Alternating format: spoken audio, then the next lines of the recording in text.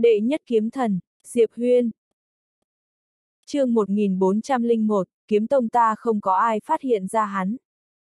Nói xong, khóe miệng lão ta hiện lên một nụ cười khẩy, ngược lại ta muốn xem xem bọn chúng có dám đến võ viện ta cướp người một cách quang minh chính đại hay không.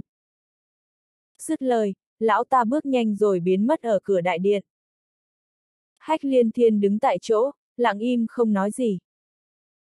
Bởi vì ông ta cảm thấy chuyện lần này không hề đơn giản như vậy. Sau khi Lý Huyền Phong rời khỏi đó thì lập tức trở về kiếm tông. Mà sau khi ông ta trở về kiếm tông, sắc mặt bỗng trở nên cực kỳ khó coi. Bởi vì toàn bộ linh khí trong phạm vi mấy nghìn dặm của kiếm tông đều biến mất sạch sẽ, giống như là bị người khác hút hết vậy. Linh khí khô cạn, chuyện ngôn tình. Linh khí của kiếm tông bây giờ đã khô cạn triệt để, chẳng còn chút nào. Lúc này, một ông lão ôm kiếm xuất hiện bên cạnh Lý Huyền Phong, sắc mặt Lý Huyền Phong trở nên u ám, là Diệp Huyên làm. Ông lão ôm kiếm trầm giọng nói, có lẽ là hắn. Lý Huyền Phong nhìn lướt qua xung quanh, kiếm tông ta không có ai phát hiện ra hắn. Ông lão ôm kiếm lắc đầu, linh khí đột nhiên biến mất, bọn ta lập tức giả soát xung quanh, nhưng không thu hoạch được gì. Hai mắt Lý Huyền Phong híp lại, hắn ta làm thế nào vậy, chẳng lẽ là vật trí bảo đó? Ông lão ôm kiếm trầm giọng, thực lực và thiên phú của người này cho dù đặt trong kiếm tông ta thì cũng là một người xuất sắc. Nếu như hắn không chết, sau này chắc chắn sẽ trở thành mối họa cực lớn của kiếm tông ta. Lý Huyền Phong trầm ngâm một lát, sau đó nói, truyền lệnh xuống, Diệp Huyên trộm mất trí bảo của kiếm tông ta, giờ đây, hễ là đệ tử của kiếm tông ta thì ai cũng có trách nhiệm chu diệt hắn. Ông lão ôm kiếm nhìn Lý Huyền Phong, ông ta hơi do dự một chút, chuyện này. Lý Huyền Phong khẽ nói, nếu không làm thế này, kiếm tông ta không thể quang minh chính đại ra tay với hắn. Chỉ có như vậy, chúng ta mới có lý do chính đáng. Ông lão ôm kiếm im lặng một lúc, sau đó quay người rời đi. Sắc mặt Lý Huyền Phong dần lạnh băng, người muốn chơi sao? Vậy thì ta sẽ chơi cùng ngươi. Nói xong, ông ta xoay người rồi mất hút. chương 1402, có lẽ tiền bối cũng có thể nhỉ. Việc linh khí của kiếm tông đột nhiên biến mất đã lan truyền rất nhanh khắp thần võ thành. Nhưng không lâu sau lại có một tin khác lấn át chuyện này. Diệp Huyên trộm mất trí bảo của kiếm tông. Diệp Huyên là ai cơ chứ? Người trong thần võ thành vẫn khá xa lạ với cái tên này. Bởi vì Diệp Huyên đến thần võ thành cũng chưa được bao lâu. Nhưng bây giờ, sau khi thông báo của kiếm tông được phát ra, có thể nói người của cả thần võ thành đều cực kỳ khinh bỉ Diệp Huyên. Trộm đồ của tông môn, hơn nữa còn là một vị kiếm tu, đây không phải là mất mặt bình thường. Chuyện sủng. Còn rất nhiều học viên của võ viện thì cười trên nỗi đau của người khác. Nói chung, có thể nói kiếm tông bây giờ đã đứng ở điểm cao nhất của đạo đức. Trong một gian phòng cũ nát, Diệp Huyên xếp bằng trên mặt đất, giờ đây sắc mặt hắn đã hơi tái nhợt. Lúc hắn thôi thúc thần vương tọa trước đó, cơ thể hắn đã có chút không chịu nổi. Thần vương tọa là thần khí cấp đạo cảnh duy nhất mà hắn hiện có. Đến bây giờ hắn vẫn không thể khống chế được hoàn toàn thần vương tọa này. Không chỉ như vậy, hắn đã quyết định sau này sẽ cố gắng dùng ít đi. Đúng lúc này, tầng 6 đột nhiên nói, cái ghế này của ngươi cũng được đó chứ. Diệp Huyên hơi tò mò, tại sao? Tầng 6 nói, vật này ẩn chứa đạo tắc, mà đạo này vượt qua cả đạo tắc của tinh vực các ngươi. Diệp Huyên hiếu kỳ, tinh vực này của bọn ta cũng có đạo tắc sao? Tầng 6 nói, mỗi một thế giới đều có đạo tắc của nó, nếu như không có đạo tắc, thế giới sẽ hỗn loạn. Ví dụ như người đánh nhau với người khác, phá hỏng không gian, mà không gian tự động khôi phục lại, đó chính là đạo tắc làm ra. Diệp Huyên trầm giọng nói, nếu như đạo tắc của thế giới này mất đi, có phải có nghĩa là thế giới này sẽ bị hủy diệt không? Tầng 6 nói, người muốn làm thế. Diệp Huyên lắc đầu. Hủy diệt thế giới. Hắn vẫn chưa đến mức điên như thế. Tầng 6 nói, đạo tắc không phải là thứ dễ hủy hoại như thế. Hiện giờ ít nhất phải có thực thực như tên tầng 5 mới có khả năng hủy hoại được đạo tắc của một thế giới. Diệp Huyên cười nói, có lẽ tiền bối cũng có thể nhỉ. Tầng 6 nói, Không dám, không dám. Diệp Huyên. Không nói chuyện phiếm với tầng 6 nữa, Diệp Huyên bắt đầu chuyên tâm hấp thu tiên tinh. Sau nửa canh giờ, trước mặt hắn đột nhiên vang lên giọng nói của Bạch Chỉ. Một lát sau, sắc mặt Diệp Huyên trở nên u ám, bây giờ kiếm tông không chỉ muốn giết hắn mà còn đứng trên phương diện chính nghĩa. chương 1403, ta có một kiến nghị nho nhỏ. Tầng 6 nói, ta có một kiến nghị nho nhỏ. Diệp Huyên dừng bước, tiền bối, mời người nói. Tầng 6 nói, rời khỏi nơi đây, 10 năm sau trở về, nơi này sẽ không có ai là đối thủ của ngươi nữa. Rời khỏi nơi đây. Diệp Huyên lắc đầu. Hắn biết mình bây giờ hoàn toàn thuộc thế yếu, nếu rời đi thì chắc chắn là sự lựa chọn tốt nhất. Nhưng hắn cũng biết rõ, một khi hắn rời đi, những người đó sẽ điên cuồng nhắm vào Diệp Linh và đám người Tiểu An. Hắn trốn tránh, thì người gặp xui xẻo chính là anh em bạn bè của hắn. Tầng 6 lại nói, vậy ngươi định chiến đấu đến cùng với bọn họ. Diệp Huyên cười khà khà, tiền bối, người có thể ra đây không? Tầng 6 khẽ nói, đừng có ý định gì đó với ta. Thân ta còn khó bảo toàn đây này. Diệp Huyên ngây cả người, hắn có chút không hiểu, sao người lại nói như vậy. Tầng 6 nói, trước khi kiếm tu đó rời đi. Nói đến đây, y đột nhiên không nói nữa. Nhưng nghe đến đây, Diệp Huyên đã hiểu rồi. Trước khi kiếm tu đó rời đi đã từng ra tay với tầng 6. Không nghĩ nhiều nữa, Diệp Huyên lặng lẽ biến mất. Lần này, hắn không đến kiếm tông mà đến thương hội thông bảo. Trong một gian phòng lớn, Bạch chỉ ngồi trước bàn đọc sách, đang đọc cái gì đó. Đột nhiên nàng ta ngẩng đầu nhìn về một góc, Diệp công tử. Diệp Huyên lặng lẽ xuất hiện, sắc mặt hắn có chút nghiêm trọng, cô vẫn có thể phát hiện ra ta. Bây giờ hắn ẩn mình trong khí hỗn độn, cho dù là cường giả đạo cảnh cũng không thể phát hiện ra hắn. Nhưng hắn vừa đến đây, Bạch chỉ đã phát hiện ra hắn rồi. Bạch chỉ khẽ mỉm cười, Diệp công tử đừng kinh ngạc quá, bởi vì ta có chút đặc biệt nên mới có thể cảm nhận được Diệp công tử. Diệp Huyên gượng cười, vẫn may ta không phải là kẻ địch của Bạch chỉ cô, nếu không thì ta muốn trốn cũng không có chỗ nào mà trốn. Bạch chỉ bấm tay một phát, một chiếc nhẫn chứa đồ xuất hiện trước mặt Diệp Huyên. Diệp Huyên nhìn lướt qua nó, trong nhẫn chứa đồ đó, toàn bộ đều là kiếm thuốc cấp tiên khí. Bạch chỉ đang định nói gì đó, đột nhiên sắc mặt nàng ta thay đổi, không hay rồi, người đi mau đi. Audio điện tử võ tấn bền. chương 1404, tại sao bọn họ lại kiêu ngạo như thế? Diệp Huyên hơi ngẩn người ra, hắn xoay người định rời khỏi đó thì đúng lúc này, toàn bộ thương hội thông bảo đột nhiên nổ tung lên, một luồng sức mạnh cực lớn đánh thẳng vào chỗ Diệp Huyên và Bạch Chỉ. Diệp Huyên chợt xuất hiện ở khoảng trời phía trên Bạch Chỉ, ngay sau đó kiếm trong tay hắn đâm thẳng một phát lên trên. Bù! Tiếng kiếm reo chấn động đến cuối chân trời. ầm, um. Luồng sức mạnh cực lớn đó ầm ầm vỡ tan, nhưng Diệp Huyên cũng trực tiếp ngã xuống đất. Mà đúng lúc này, xung quanh hắn lại xuất hiện sáu lão già. Sáu cường giả đạo cảnh. Bên cạnh Diệp Huyên, Bạch chỉ nói khẽ, xin lỗi, đáng lẽ ta nên nghĩ đến việc bọn họ mai phục ở đây. Diệp Huyên lắc đầu, không liên quan đến cô, là ta bất cẩn rồi. Trong không trung, lão già mặc áo bào đen nhìn xuống Diệp Huyên ở phía dưới, Diệp Huyên, ngươi có thể nhìn thấy, bây giờ xung quanh ngươi có sáu cường giả đạo cảnh. Diệp Huyên nhìn lão già mặc áo bào đen, ông ta lại nói, sáu người bọn ta cũng không muốn làm tới cùng chuyện này, bọn ta chỉ cần vật trí bảo trên người ngươi. Giao vật trí bảo ta đây, bọn ta lập tức rời khỏi đây, tuyệt đối sẽ không động tới tính mạng của ngươi. Giao vật trí bảo ra. Diệp Huyên nhếch miệng cười, mấy người đã quên kết cục của tinh chủ đó rồi sao? Chuyện của tinh vực vị ương, mấy người cũng quên rồi. Nghe thấy vậy, sắc mặt của lão già mặc áo bào đen bỗng trở nên u ám, người đang uy hiếp bọn ta sao?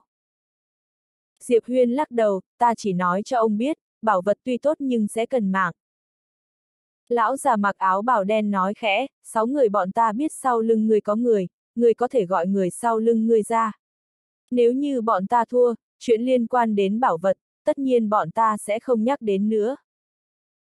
Diệp Huyên đang định nói gì đó thì tầng 6 đột nhiên nói, tại sao bọn họ lại kiêu ngạo như thế? Không đợi Diệp Huyên trả lời lại, tầng 6 đã nói, rõ ràng bọn họ rất yếu, vì sao phải khiêu chiến với người phía sau ngươi vậy? Diệp Huyên. Tầng 6 khẽ thở dài một hơi, thật ra cũng có thể hiểu được. Năm đó ta cũng từng làm rất nhiều chuyện không tự lượng sức mình. Giống như lúc gặp phải tòa tháp này, nếu như ta quay người bỏ chạy thì sẽ không rơi vào kết cục như thế này. Diệp Huyên hỏi, năm đó tại sao tiền bối không bỏ chạy? Chương 1405, 6 vị cao thủ đạo cảnh. Tầng 6 nhẹ giọng nói, lúc đó ta đã là kẻ bất khả chiến bại, một cái tháp rác rưởi thì sao phải sợ chứ? Nhưng mà vừa bắt đầu đánh, ta đã hối hận rồi. Thực ra con người ta rất nhiều lúc phải khiêm tốn một chút, điều này đúng là không sai. Ây ra, một trải nghiệm đau khổ biết mấy. Diệp Huyên. Lúc này, lão già mặc áo bào đen trên không trung đột nhiên nói, Diệp Huyên, ta cho ngươi một cơ hội cuối cùng, nếu như ngươi không giao bảo vật đó ra thì đừng trách bọn ta không khách khí. Diệp Huyên lặng im không nói. Lão già mặc áo bào đen lại nói, kiếm tông sẽ không quan tâm đến ngươi, võ viện cũng sẽ không quan tâm đến ngươi, ngươi bây giờ là đơn phương độc mã, không có bất kỳ phần thắng nào. Ai nói vậy? Đúng lúc này, một giọng nói từ cách đó không xa truyền đến. Diệp Huyên quay đầu lại nhìn, một người con trai chậm rãi bước tới. Nhìn thấy người này, Diệp Huyên sững cả người lại. Người này chính là Mạc Tà của Ma Kha tộc. Mạc Tà đi đến bên cạnh Diệp Huyên, Diệp Huyên trầm giọng nói, Mạc Huynh, Huynh không cần phải dính vào chuyện này. Mạc Tà nhìn Diệp Huyên, không coi ta là bạn bè nữa à? Diệp Huyên nhìn Mạc Tà, hắn cười nói, tất nhiên ta coi Mạc Huynh là bạn rồi, nhưng mà... Mạc Tà lắc đầu, đã là bạn bè thì cần gì phải nói nhiều. Diệp Huyên lặng im không nói. Bạn bè. Trong lòng Diệp Huyên rất ấm áp, bởi vì Mạc Tà có thể xuất hiện vào thời điểm như này, điều đó có nghĩa là đối phương thật sự xem Diệp Huyên hắn là bạn bè. Đạo cảnh. Sáu vị cao thủ đạo cảnh. Cho dù cộng cả hắn và Mạc Tà thì cũng không có bất kỳ khả năng thắng nào. Nhưng Mạc Tà vẫn đứng ra chương 1406, một quyền này đánh ra, trời đất rung động. Ông lão mặc áo đen híp mắt lại, đang muốn ra tay, đúng lúc này, hai cô gái đột nhiên xuất hiện bên cạnh Diệp Huyên. Liên Vạn Lý. An Lan Tú. Ông lão áo đen nhìn đám người An Lan Tú, sắc mặt lạnh như băng, nếu các ngươi đã muốn chết, vậy lão phu sẽ giúp các ngươi toại nguyện. Vừa dứt lời, ông ta đột nhiên biến mất. Mà ngay lúc ông lão áo đen biến mất, năm người sau lưng ông ta cũng biến mất theo. 6 đánh 4. Đúng lúc này, Diệp Huyên đột nhiên nói, ta đánh hai người. Nói xong, hắn liền hóa thành một luồng kiếm quang phóng lên cao. Đánh hai đạo cảnh. Đánh thế nào? Diệp Huyên không nắm chắc, nhưng hắn biết hắn phải đánh hai người, nếu không, áp lực của ba người An Lan Tú sẽ rất lớn. Diệp Huyên trực tiếp vận dụng long hồn cùng sức mạnh rồng cùng với lực lượng ma kha, sau khi có long hồn cùng lực lượng rồng thêm vào, khí thế tăng lên nhanh chóng. Diệp Huyên nhanh chóng xông về phía một ông già áo bảo đen. Mục tiêu của hắn chính là trước hết giết một người. Nhất định phải giết một người trước. Trong tay phải Diệp Huyên cầm chính là kiếm chấn hồn, lúc này, hắn đã tăng tốc độ đến giới hạn của chính mình.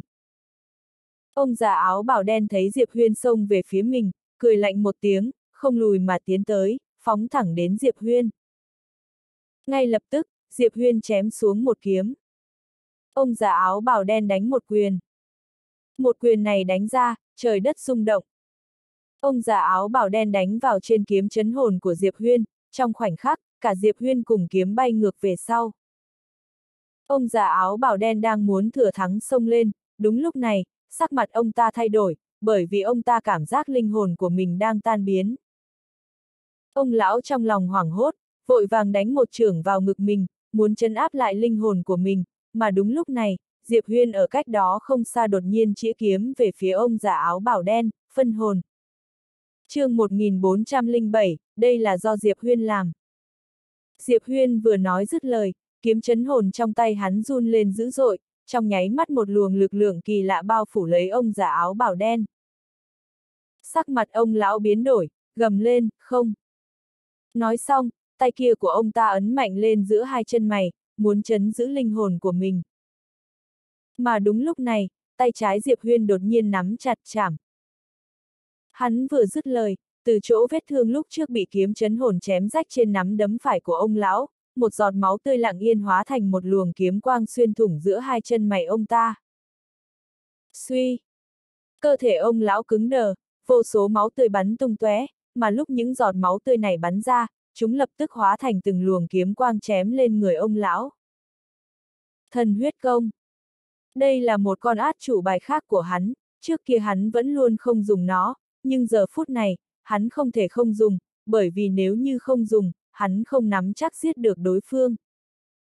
Cách đó không xa, ông già áo bào đen trực tiếp bị những thanh kiếm ngưng tụ từ máu tươi phân thây, mà linh hồn của ông ta lại vẫn còn. Chỉ có điều linh hồn của ông ta đã hoàn toàn trở nên hư ảo rồi. Lúc cơ thể còn chưa bị chém nát, ông ta còn có thể miễn cưỡng chấn áp nhất kiếm định hồn của Diệp Huyên cùng với phân hồn của kiếm chấn hồn, nhưng bây giờ, cơ thể đã hỏng, ông ta rốt cuộc không thể chấn giữ linh hồn của mình nữa. Trận đấu giữa ông già áo bào đen và Diệp Huyên từ lúc bắt đầu đến chấm dứt chỉ dùng thời gian chưa đến hai hơi, ông già áo bào đen đã ngã xuống. Bên kia, ông lão áo đen vốn muốn ra tay với Diệp Huyên đã ngây người. Trong nháy mắt giết chết một đạo cảnh. Đây là do Diệp Huyên làm. Ông ta lúc này đầu óc trống rỗng. Không chỉ có ông lão áo đen, đám người Lý Huyền Phong trong bóng tối cũng là vẻ mặt không thể tin được. Diệp Huyên tuy rằng sử dụng vạn vật, nhưng vạn vật này cũng không thể chém giết một cao thủ đạo cảnh. Hơn nữa, còn là giết trong nháy mắt. Đây thế nhưng là cao thủ đạo cảnh đó. chương 1408, sẽ phải trả giá rất lớn rất lớn. Kiêng rè. Giờ đây ông ta đều có chút kiêng rè rồi. Diệp Huyên bây giờ còn trẻ đã có sức chiến đấu mạnh như vậy, nếu như cho hắn thêm chút thời gian. Nghĩ đến đây, ánh mắt Lý Huyền Phong dần dần lạnh như băng. Bên kia, viện trưởng hách liên thiên của võ viện cũng có chút khiếp sợ, hiển nhiên, ông ta cũng không ngờ tới Diệp Huyên thế mà giết chết một cao thủ đạo cảnh chỉ trong nháy mắt. Sau lưng hách liên thiên, Tần Sơn nhẹ giọng nói, người này, quả thật có chút yêu nghiệt. Hách liên thiên liền nhẹ giọng, nếu đám tiểu an có nguy hiểm, có thể chuẩn bị ra tay bất cứ lúc nào. Tần Sơn hỏi, vậy Diệp Huyên thì sao? Hách liên thiên liền lắc đầu, không thể cứu, người này một khi cứu, sẽ mang đến tai họa không lường được. Tần Sơn gật đầu. Diệp Huyên bây giờ chính là một lốc xoáy lớn, cho dù là võ viện cũng không dám tùy tiện bước vào lốc xoáy này. Sẽ phải trả giá rất lớn rất lớn. Xa xa, đại chiến vẫn đang tiếp tục. An Lan Tú và Liên Vạn Lý cùng với Mạc Tà chiến đấu với bốn vị cao thủ đạo cảnh, mà ba người từ lúc bắt đầu vẫn luôn bị áp chế. Ba người tuy rằng đều là yêu nghiệt siêu cấp, nhưng cao thủ đạo cảnh cũng không phải là nhân vật dễ đối phó, đây là cao thủ đứng đầu trong trời đất này. Muốn vượt cấp khiêu chiến cao thủ đạo cảnh, không phải không có, nhưng rất ít. Hơn nữa bây giờ còn là nhiều đánh ít. Đám An Lan Tú dĩ nhiên là đánh không lại. Không bị trực tiếp nghiền ép, đã vô cùng khủng bố rồi. Bên kia, ông lão áo đen gắt gao nhìn chằm chằm Diệp Huyên, trong lòng ông ta lúc này vừa kinh sợ vừa tức giận. Diệp Huyên trong nháy mắt giết chết ông già áo bảo đen kia, thật sự đã làm ông ta bị khiếp sợ. Bởi vì Diệp Huyên bây giờ còn chưa đến vạn pháp, điều này đã không thể dùng khủng bố để hình dung. Diệp Huyên nhìn qua đám An Lan Tú, thấy bọn họ bị áp chế, sắc mặt Diệp Huyên trầm xuống, tay phải hắn nắm chặt kiếm hướng về phía ông lão áo đen chương 1409, phân hồn. Ông lão áo đen nhìn thấy cảnh này, hai mắt hơi nheo lại, trong ánh mắt, ngoại trừ sát ý còn có một tia ngưng trọng. Lúc này, ông ta đã không còn xem thường Diệp Huyên nữa. Tay phải Diệp Huyên nắm chặt kiếm, từng hơi thở mạnh mẽ không ngừng chấn động từ trong cơ thể hắn mà ra, không chỉ có như thế, kiếm chấn hồn trong tay hắn còn tản ra một luồng kiếm thế hùng mạnh. Có long hồn cùng lực lượng rồng và lực lượng ma kha thêm vào, hơi thở của Diệp Huyên lúc này tiếp cận đến cao thủ đạo cảnh. Đúng lúc này, ông lão áo đen trước mặt Diệp Huyên đột nhiên bước về phía trước một bước, sau đó đánh mạnh một quyền. Ông ta quyết định động thủ trước. Bởi vì Diệp Huyên đang tụ thế. Cả bốn phía không gian sôi trào lên theo một quyền này của ông lão, giống như nước được đun sôi lên, làm cho người ta vô cùng sợ hãi. Đặc biệt trước mặt Diệp Huyên, một luồng lực lượng mạnh mẽ đè áp tới, Diệp Huyên cảm giác bốn phía đột nhiên trở nên yên lặng. Lúc này, ngay cả hô hấp, hắn cũng không thể. Tay phải Diệp Huyên nắm chặt, một luồng lực lượng rồng dũng mãnh vào trong tay phải hắn, ngay sau đó, hắn cầm kiếm chém mạnh về phía trước. Suy! Một luồng kiếm quang màu vàng óng ánh chém thẳng xuống. ầm, um. Không gian trước mặt Diệp Huyên lập tức bị hủy diệt, mà bản thân Diệp Huyên bị chấn động liên tục lùi xa, ước chừng mấy trăm trượng. Nhưng mà, ông lão áo đen kia cũng bị lùi đi hơn 10 trượng. Ông ta vừa dừng lại, hai thanh phi kiếm chém tới. Ánh mắt ông ta lạnh như băng, tay phải ép nhẹ xuống dưới, ngự.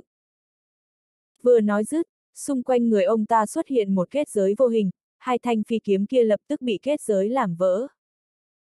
Mà đúng lúc này, Diệp Huyên đột nhiên xuất hiện ở trước mặt ông ta, ngay sau đó, một thanh kiếm đâm thẳng về phía giữa hai chân mày của ông ta.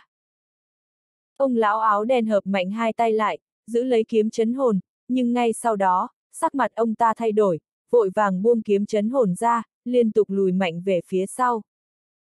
Một kiếm kia của Diệp Huyên là nhất kiếm định hồn. chương 1410, phải tốc chiến tốc thắng. Diệp Huyên vừa nói xong, kiếm chấn hồn trong tay hắn run lên dữ dội, một lực lượng thần bí bao phủ lấy ông lão áo đen trong nháy mắt.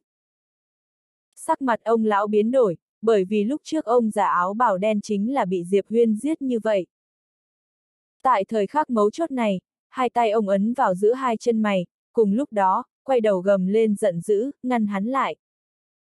Nghe thấy lời ông lão áo đen, một cao thủ đạo cảnh lập tức buông tha cho ba người đám mạc tà, xoay người thẳng đến chỗ Diệp Huyên. Diệp Huyên không thể không buông tha cho ông lão áo đen, xoay người cầm kiếm chém mạnh xuống. ầm, um, Tiếng kiếm chấn động chân trời. Ngay sau đó, một tiếng nổ vang lên. ầm vang. Diệp Huyên cầm kiếm liên tục lui xa trăm trượng. Tên cao thủ đạo cảnh kia không ra tay với Diệp Huyên, mà lui đến bên cạnh ông lão áo đen, hắn ta đặt một tay lên vai ông lão áo đen, một lát sau, ông lão áo đen dần dần ổn định lại. Ông ta ngẩng đầu nhìn về phía Diệp Huyên ở cách đó không xa, nét ngưng trọng trong mắt đã biến thành kiêng rè, cẩn thận kiếm trong tay hắn. Kiếm. Kiếm kỹ của Diệp Huyên lúc này cộng thêm kiếm chấn hồn, đã có thể giết đạo cảnh. Bởi vì bây giờ hắn có long hồn và lực lượng rồng còn có lực lượng ma kha thêm vào. Diệp Huyên lau máu ở khóe miệng, hắn nhìn qua ba người đám An Lan Tú, hiện tại là ba đánh ba, đã không còn thua kém quá nhiều. Nhưng Diệp Huyên biết rõ, tiếp tục như vậy, cũng không có lợi đối với bọn họ.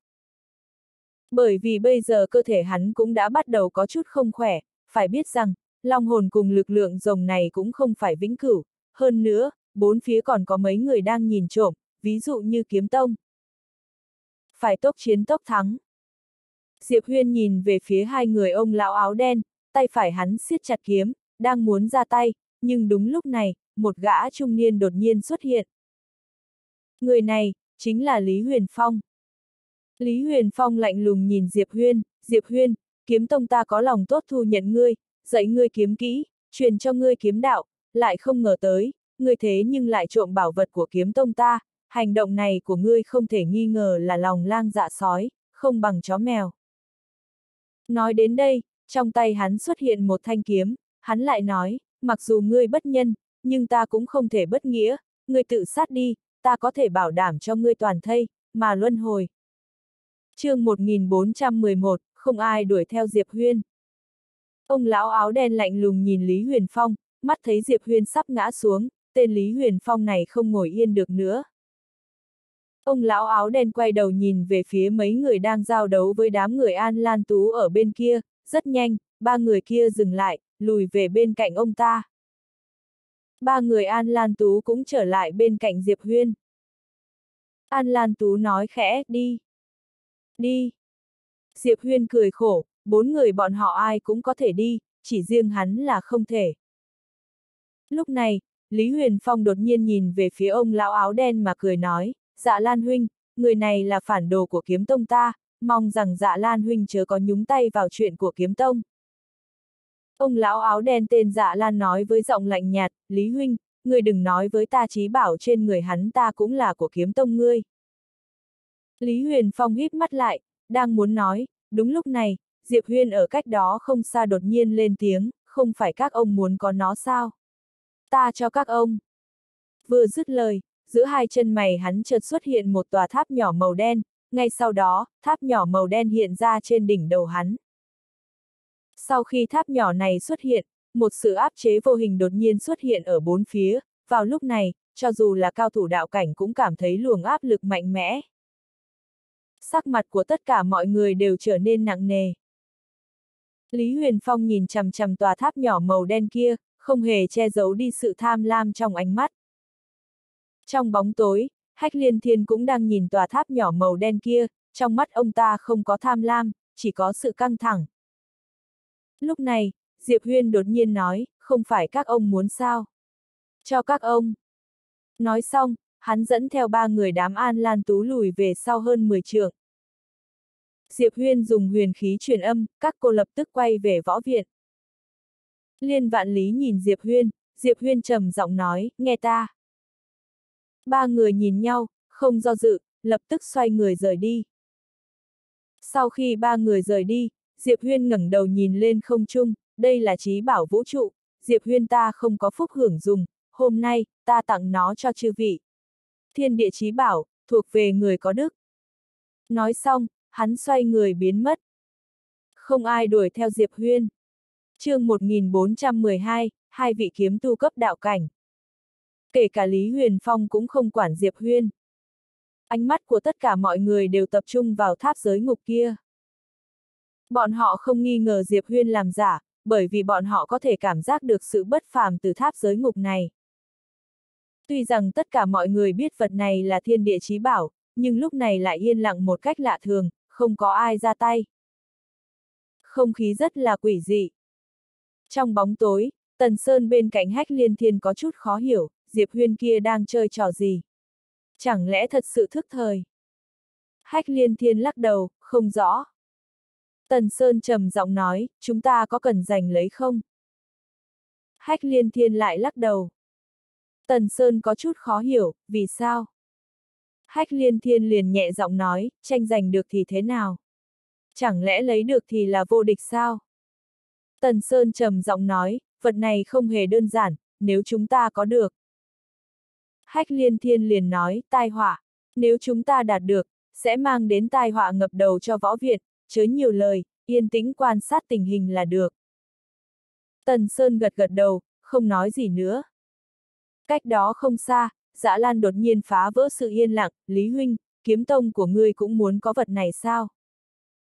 Lý Huyền Phong nhìn Dã Lan, cười nói, thật không dám giấu, vật này chính là vật mà kiếm tông ta bị mất. Dạ Lan không giận trái lại cười, độ dày ra mặt Lý Tông Chủ, quả thật hiếm thấy. Lý Huyền Phong lạnh nhạt nói, chư vị, ở đây là thần võ thành. Dạ Lan híp mắt lại, Lý Tông Chủ đây là đang uy hiếp ta. Lý Huyền Phong lắc đầu cười, dĩ nhiên không phải, dạ Lan Huynh, Diệp Huyên là phản đồ của kiếm tông ta, vật này cũng là của kiếm tông bị mất, người tới cướp đoạt, có phải có chút không hợp lý rồi không? Dạ Lan cười lạnh, vật của kiếm tông ngươi hả? Lý Tông Chủ, lão phu phát hiện, da mặt này của ngươi không phải dày bình thường nha. Ngươi cũng đừng nói cái gì có mất với lão phu. Muốn trí bảo này, có thể, đánh thắng đám người bọn ta. Nói xong, ông ta liền muốn ra tay, mà đúng lúc này, một ông lão ôm kiếm đột nhiên xuất hiện phía sau Lý Huyền Phong, ngoài ông ta ra, còn có một người đàn ông vạm vỡ đeo kiếm sau lưng xuất hiện phía sau đám người dạ lan cách đó không xa. Ba vị kiếm tu. Dạ lan híp mắt, khóe miệng có chút châm chọc, chỉ dựa vào ba người các ngươi. Lý Huyền Phong cười nói, người nhìn lại đi. Lý Huyền Phong vừa dứt lời, phía bên phải đột nhiên xuất hiện hai người mặc áo bảo đen, trong tay mỗi người đều cầm một thanh kiếm đen có vỏ, ngoài ra, sau lưng bọn họ, còn có một hộp kiếm màu đen. Hai vị kiếm tu cấp đạo cảnh. Dạ Lan thấy vậy, sắc mặt tức khắc trầm xuống. Năm tên kiếm tu chiến đấu với năm người bọn họ, bọn họ không có bất kỳ ưu thế nào, hơn nữa, nơi này còn là kiếm tông, nhất định còn có con bài chưa lật. Phải biết rằng, kiếm tông kế thừa nhiều như vậy năm, không thể nào chỉ có chừng đó gia sản. chương 1413 Dạ Lan lạnh lùng nhìn Lý Huyền Phong, kiếm tông, được lắm, chúng ta sau này còn gặp lại. Nói xong, ông ta xoay người bước đi. Rất nhanh, năm người dạ lan đã biến mất không thấy đâu. Không thể đánh. Bởi vì nếu năm người bọn họ đấu võ, rất có khả năng sẽ bị kiếm tông giữ lại chỗ này. Nên biết rằng, kiếm tu vốn có sức chiến đấu rất mạnh, hơn nữa đây còn là địa bàn của kiếm tông, ở đây, bọn họ không có phần thắng. Bên cạnh Lý Huyền Phong, ông lão ôm kiếm trầm giọng nói, bọn họ nhất định sẽ không từ bỏ ý đồ. Lý Huyền Phong nói bằng giọng lạnh lùng, có gì phải sợ. Nói xong, ông ta quay đầu nhìn về phía vị trí của Hách Liên Thiên, Hách Huynh, người hẳn là không có ý nghĩ khác đó chứ. Hách Liên Thiên liền đi ra, cười nói, không có ý nghĩ khác, chúc mừng Quý Tông đạt được trí bảo đệ nhất vũ trụ. Lý Huyền Phong nhìn thoáng qua Hách Liên Thiên, cười nói, đa tạ. Nói xong, tay phải ông ta bắt lấy tháp giới ngục, sau đó xoay người biến mất. Rất nhanh, các cao thủ kiếm tông ở đó đều rời đi. Hách liên thiên thấy kiếm tông yên tâm như vậy, nhíu mày, không biết suy nghĩ cái gì. Tần Sơn trầm giọng nói, cứ để bọn họ chiếm được như vậy. Hách liên thiên liền lắc đầu, việc này tuyệt đối không đơn giản như vậy. Tần Sơn cười khổ, vật ấy đã bị bọn họ đạt được, nếu bọn họ đạt được lực lượng của nó, khi đó, võ viện ta. Hách liên thiên đột nhiên hỏi, người cảm thấy con người Diệp Huyên như thế nào? Tần Sơn hơi ngẩn người, lập tức hỏi, ngài là nói phương diện nào? Hách liên thiên liền nhẹ giọng, trí lực. Tần Sơn trầm giọng nói, không ngu. Hách liên thiên nhẹ giọng, vậy thì đúng rồi. Theo tư liệu của hắn, người này không chỉ không ngu, ngược lại còn rất nham hiểm. Mặc kệ như thế nào, chúng ta mong chờ đi. Nói xong, ông ta xoay người rời đi. Tần Sơn nhìn về hướng kiếm tông, rồi cũng xoay người rời đi.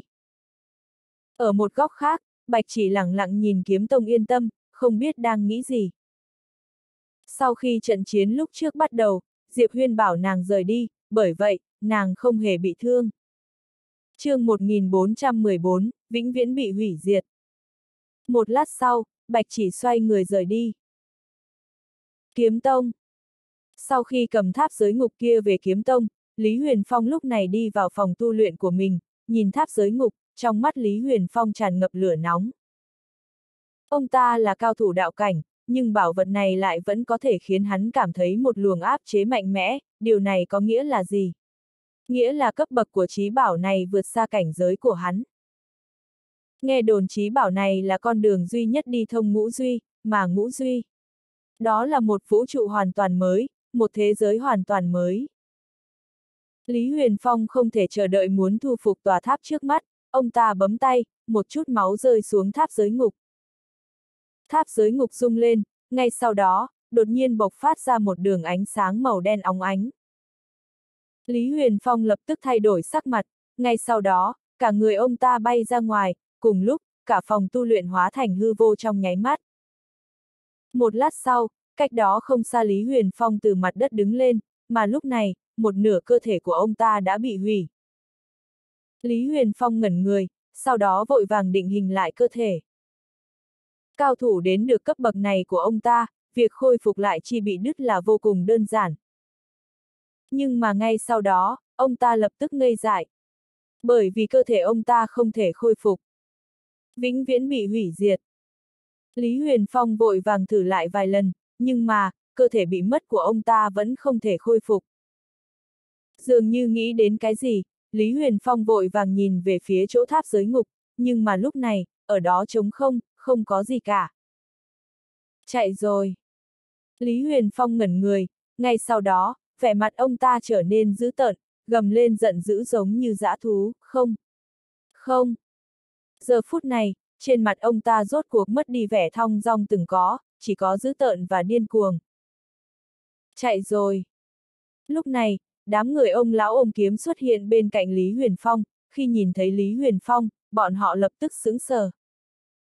Lý Huyền Phong đột nhiên gầm lên, tìm, sử dụng tất cả lực lượng tìm kiếm Diệp Huyên. Nhất định phải tìm được hắn. chương 1415, Tháp Giới Ngục. Đám ông lão ôm kiếm liếc nhìn nhau, sau đó xoay người rời đi. Giữa sân, vẻ mặt Lý Huyền Phong giữ tợn đến mức ngũ quan vặn vẹo, không đúng, ông ta hiện tại chỉ có nửa bên mặt. Diệp Huyên. Một tiếng gầm gừ lại vang lên. Trong thần Vũ Thành, trong sân nơi nào đó, Diệp Huyên ngồi xếp bằng trên mặt đất, đang chữa thương. Sắc mặt hắn bây giờ tái nhợt như tờ giấy, toàn thân chi chít vết dạn, quần áo cũng bị máu tươi nhuốm đỏ. Lúc trước sử dụng long hồn và lực lượng rồng làm hắn tiêu hao quá lớn. Nếu như tiếp tục đánh, không cần người khác giết, tự hắn cũng sẽ chết. Mặc dù long hồn và lực lượng rồng này tốt, nhưng lực lượng quá mạnh mẽ, cơ thể hắn bây giờ vẫn không thể chịu đựng lực lượng như vậy. Hắn điên cuồng nuốt tiên tinh. Cùng với năng lượng không ngừng nhập vào, cơ thể Diệp Huyên bắt đầu điên cuồng hấp thu năng lượng đó, sau đó, sắc mặt hắn dần dần tốt hơn một chút. Diệp Huyên nhận ra điều đó, trong lòng cũng thả lỏng, cũng may có thể khôi phục. Đúng lúc này, không gian trước mặt hắn đột nhiên sụp đổ. Diệp Huyên bị dọa sợ, đang định xuất kiếm, lúc này, một vật màu đen xuất hiện. Nhìn thấy vật màu đen này, sắc mặt Diệp Huyên liền trở nên cổ quái. Tháp giới ngục. Trước mặt Diệp Huyên, tháp giới ngục khẽ rung lên, sau đó trực tiếp hóa thành một ánh sáng đen biến mất vào giữa hai chân mày hắn. Cơ thể Diệp Huyên run rẩy, một lát sau, hắn lắc đầu thở dài, người rốt cuộc nhìn chúng ta ở điểm nào. Ta sửa còn không được sao. Tháp giới ngục. Sở dĩ Diệp Huyên lấy tháp giới ngục ra cho đám người Lý Huyền Phong là vì hắn biết bọn họ hoàn toàn không khống chế được nó. Đúng như hắn đoán, cuối cùng tháp giới ngục này vẫn quay lại. Mà khiến hắn khó chịu là bây giờ muốn vứt tháp giới ngục đi cũng không vứt được. Hoàn toàn ỉ lại vào hắn. Mà nó lại không đánh nhau giúp hắn. Như biết suy nghĩ của Diệp Huyên, tầng 6 đột nhiên nói, ngươi là được lợi còn ra vẻ phải chịu thiệt. chương 1416, cô gái váy trắng và kiếm tu. Diệp Huyên cười khổ tiền bối, tháp này thật sự là một mối họa lớn mà. Từ khi ở thanh thương giới đến nơi này, hắn chưa từng yên ổn được ngày nào, mà nguyên nhân lớn nhất là vì tháp giới ngục này. Tầng 6 nói, nhưng ngươi có từng nghĩ, tháp này cũng mang đến cơ hội vô tận cho mình không? Diệp Huyên gật đầu, ta biết điều này. Tầng 6, thật ra thì tháp này có thể phối hợp với ngươi đã là nể mặt ngươi lắm rồi. Lúc trước khi nó gặp ta, không nói hai lời đã đánh nhau rồi. Diệp Huyên cười, sau đó hỏi, tiền bối, mọi người đều nói đây là đồ của ngũ duy giới, vậy vì sao nó lại đi tới vũ trụ tứ duy? Tầng 6 bất đắc dĩ, người hỏi ta, ta biết hỏi ai đây? Diệp Huyên. Tầng 6 lại nói, dù nguyên nhân nó lựa chọn ngươi là gì, ngươi chỉ cần biết một điều, đó là bây giờ nó không rời khỏi ngươi được, nếu đã thế, ngươi sẽ có thể trao đổi với nó. Diệp Huyên khẽ nhíu mày, tiền bối, người nói nó không thể rời bỏ ta, vì sao vậy? Tầng 6 đáp, bây giờ nó đang trong trạng thái trọng thương. Nó hiểu rõ bây giờ nó không thể chấn áp những kẻ mình nhốt trong tháp, ví dụ như ta, nếu không vì kiếm tu kia thì ta đã ra ngoài rồi. Mà nếu ta ra ngoài, bây giờ nó còn đang trọng thương, ta nhất định muốn tiêu diệt nó, bị giam nhiều năm như vậy, ta có suy nghĩ này cũng không quá đáng đúng không? Diệp Huyên cười ngượng ngùng, không quá đáng. Tầng 6 lại nói, ngoài ra, nó còn có kẻ thù nữa. Kẻ thù chính là cao thủ đứng đầu tứ duy, ví dụ như cao thủ giống tầng 5, nếu nó rơi vào tay người như thế, có lẽ nó sẽ không thoải mái như bây giờ đâu. Nói đến đây, y im lặng một hồi rồi tiếp tục, mà ở cùng ngươi, nó chẳng khác nào có thêm hai chỗ dựa cả. Diệp Huyên hỏi, cô gái váy trắng và kiếm tu kia. Tầng 6, nếu không thì sao?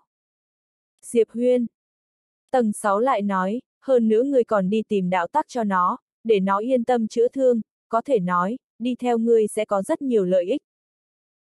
Diệp Huyên.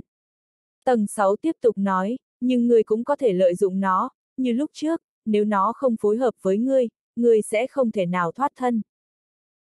Diệp Huyên gật đầu, vậy cũng phải. Hợp tác.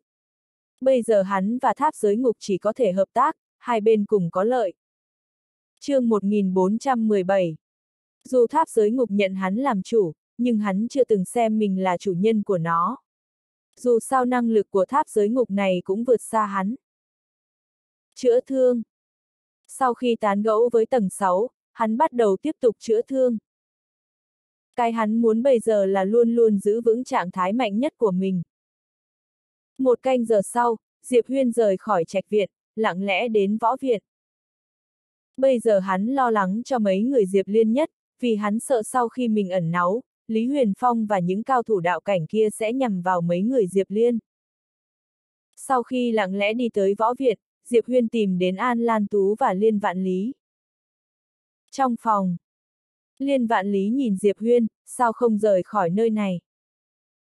Rời khỏi. Diệp Huyên lắc đầu, nếu ta đi, khi đó bọn họ chắc chắn sẽ bất chấp tất cả nhằm vào mọi người. Hắn hiểu, bây giờ hắn vẫn ở đây, những người kia sẽ không thể hoàn toàn trở mặt với võ viện. Nhưng nếu hắn đi, chắc chắn những người kia sẽ làm thế.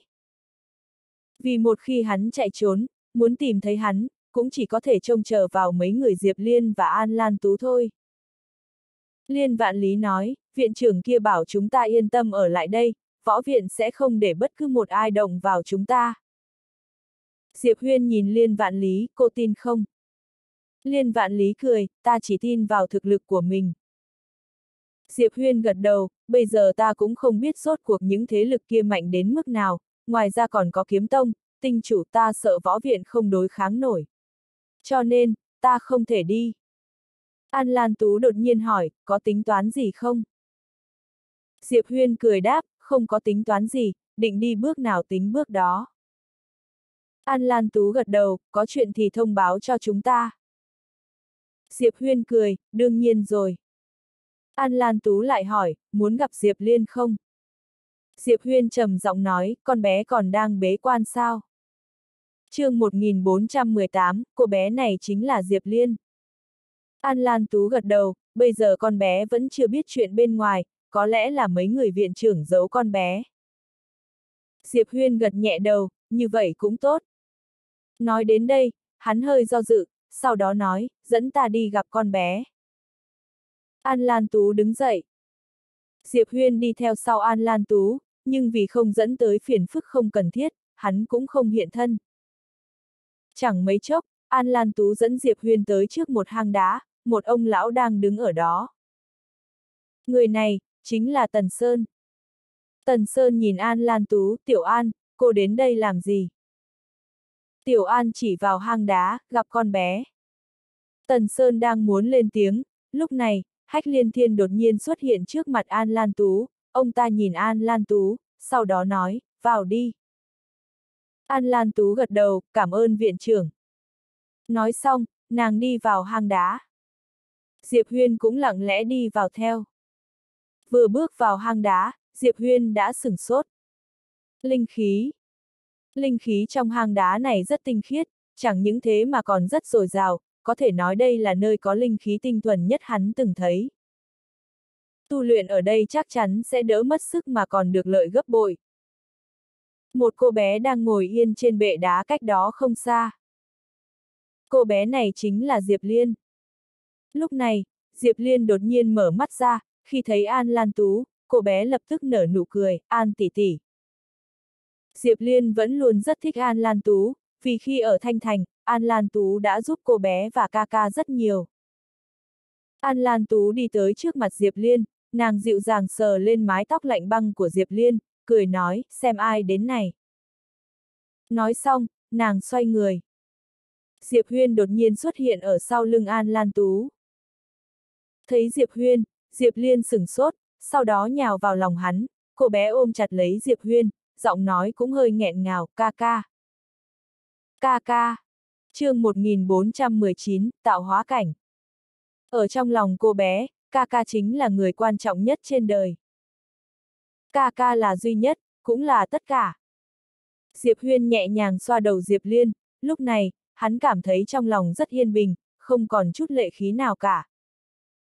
Ấm áp. Ở bên Diệp Liên, hắn cảm thấy rất ấm áp.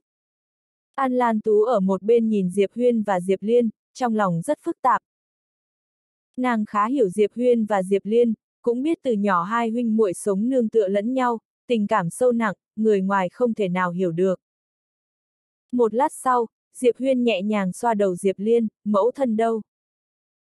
Diệp Liên ngẩng đầu nhìn hắn, sau khi đến nơi này, mẫu thân nói mình phải đến một chỗ, sau đó thì đi rồi. Diệp Huyên nhíu mày, muội biết mẫu thân đi đâu không? Diệp Liên lắc đầu, không biết, nhưng mẫu thân bảo chúng ta không cần lo lắng cho bà ấy, bà ấy sẽ không gặp nguy hiểm. Diệp Huyên im lặng. Bà ấy có thể đi đâu chứ? Nói không lo lắng là giả, bây giờ độc cô Huyên ở bên ngoài, rất khó đảm bảo mấy thế lực gồm kiếm tông sẽ không đi tìm bà ấy. Phải bảo Bạch chỉ điều tra giúp xem sao. Sau khi quyết định, Diệp Huyên nhìn Diệp Liên, bây giờ muội đã đến thánh cảnh rồi sao? Diệp Liên vội gật đầu, cười nói ca, muội không chỉ đã đạt tới thánh cảnh, muội còn sắp đạt tới tạo hóa cảnh nữa. Tạo hóa cảnh. Diệp Huyên hơi ngạc nhiên, hắn nhìn về phía An Lan Tú, An Lan Tú nhẹ giọng nói, không cần lo lắng, cao thủ võ viện đang ổn định nền tảng cho con bé. Nghe vậy, Diệp Huyên yên tâm hơn một chút, hắn biết chắc chắn võ viện sẽ không làm chuyện dục tốc bất đạt. An Lan Tú lại nói, con bé rất có thiên phú, nhưng năng lực chiến đấu hơi tệ, có điều hình như bây giờ có một ông lão đang dạy cho con bé mỗi ngày. Võ Gia Gia. Diệp Liên chen miệng vào, là Võ Gia Gia, mỗi ngày ông ấy đều sẽ dạy muội đánh nhau thế nào, ông ấy rất lợi hại. chương 1420, ca ca cũng ở võ viện sao? Diệp Huyên cười khẽ, vậy muội nhất định phải học hành đàng hoàng đấy, biết chưa? Diệp Liên nghiêm túc đáp, ca ca, muội sẽ rất nghiêm túc, sau này có chuyện gì, muội cũng muốn gánh vác giúp huynh. Từ lúc ở Thanh Thành đến bây giờ, Diệp Liên đã trưởng thành hơn rất nhiều, sự trưởng thành này khiến Diệp Huyên hơi đau lòng. Nhưng hắn cũng hiểu, Diệp Liên phải trưởng thành. Lúc này, An Lan Tú nhìn Diệp Huyên, đương nhiên hắn biết nàng có ý gì, lập tức nói, Liên Nhi, muội ở lại đây tu luyện thật tốt, ca cũng phải ra ngoài tu luyện rồi. Diệp Liên ngây người, sau đó hỏi, không ở lại thêm một lát sao? Diệp Huyên cười, sau này vẫn còn thời gian. Diệp Liên lại hỏi, ca ca cũng ở võ viện sao? Diệp Huyên thoáng do dự, sau đó gật đầu, đúng vậy, bây giờ muội chuyên tâm tu luyện, đợi sau khi muội thăng lên tạo hóa cảnh, ca ca lại đến tìm muội nhé. Diệp Liên gật đầu, không biết đang nghĩ gì. Diệp Huyên nhẹ giọng nói, muội cũng biết đấy, huynh có rất nhiều kẻ thù, cho nên huynh không thể ở bên muội mãi, muội phải chăm chỉ tu luyện, nghe lời võ gia gia kia, cố gắng trở nên mạnh mẽ, sau đó giúp ca ca, được không? Diệp Liên nhìn về phía Diệp Huyên, nghiêm túc nói, ca ca, muội nhất định có thể giúp đỡ huynh. Diệp Huyên cười, huynh đợi. Nói xong, hắn xoa đầu Diệp Liên, ca ca đi đây. Diệp Liên gật đầu, muội sẽ ra ngoài tìm huynh nhanh thôi. Diệp Huyên cười một tiếng, sau đó xoay người rời đi cùng An Lan Tú. Dù có không nỡ, nhưng hắn hiểu nếu hắn ở lại đây quá lâu thì sẽ xảy ra chuyện. Võ viện đã rất có lòng rồi, hắn không muốn liên lụy đến võ viện. Trong hang, Diệp Liên cứ nhìn Diệp Huyên và An Lan Tú như thế, cho đến khi hai người hoàn toàn đi khuất, cô bé vẫn cứ nhìn. Bên ngoài hang núi, Diệp Huyên ngẩng đầu nhìn về phía cuối chân trời, chậm rãi siết chặt tay phải, nhẹ giọng nói, ta sẽ không để bất cứ một ai làm hại đến con bé, tuyệt đối sẽ không. Muội muội. Cuộc đời này của Diệp Huyên hắn không mong đại đạo trường sinh, chỉ mong muội muội và tất cả mọi người bên cạnh đều bình an. Lúc này, không gian trước mặt Diệp Huyên đột nhiên vang lên giọng nói của Bạch Chỉ, kiếm tông đang tìm ngươi như đang nổi điên vậy, nhớ cẩn thận. chương 1421, không có cơ hội. Kiếm tông. Vẻ mặt Diệp Huyên dần trở nên lạnh lẽo. An Lan Tú ở bên cạnh hỏi Diệp Huyên, sao vậy? Diệp Huyên lắc đầu, không sao, đi thôi. An Lan Tú gật đầu, đang muốn dẫn Diệp Huyên rời đi, thì lúc này, Hách Liên Thiên đột nhiên xuất hiện trước mặt nàng. An Lan Tú nhìn hách liên thiên, ông ta nói, ta nói chuyện với hắn một lát. An Lan Tú hơi sầm mặt. Hách liên thiên cười, yên tâm, võ viện ta sẽ không làm hại đến hắn. An Lan Tú gật đầu, lùi sang một bên. Lúc này, Diệp Huyên cũng không che giấu bản thân nữa. Hách liên thiên nhìn Diệp Huyên, bây giờ kiếm tông đang sử dụng tất cả lực lượng truy tìm cậu, cậu đã làm gì vậy? Diệp Huyên cười lắc đầu, ta có thể làm gì? Đương nhiên hắn biết tại sao kiếm tông lại điên cuồng truy đuổi mình như vậy, rõ ràng là vì tháp giới ngục. Hách liên thiên nhìn Diệp Huyên, lần này kiếm tông làm thật rồi. Diệp Huyên cười hỏi, tiền bối, chẳng lẽ lúc trước bọn họ nhằm vào ta là giả sao?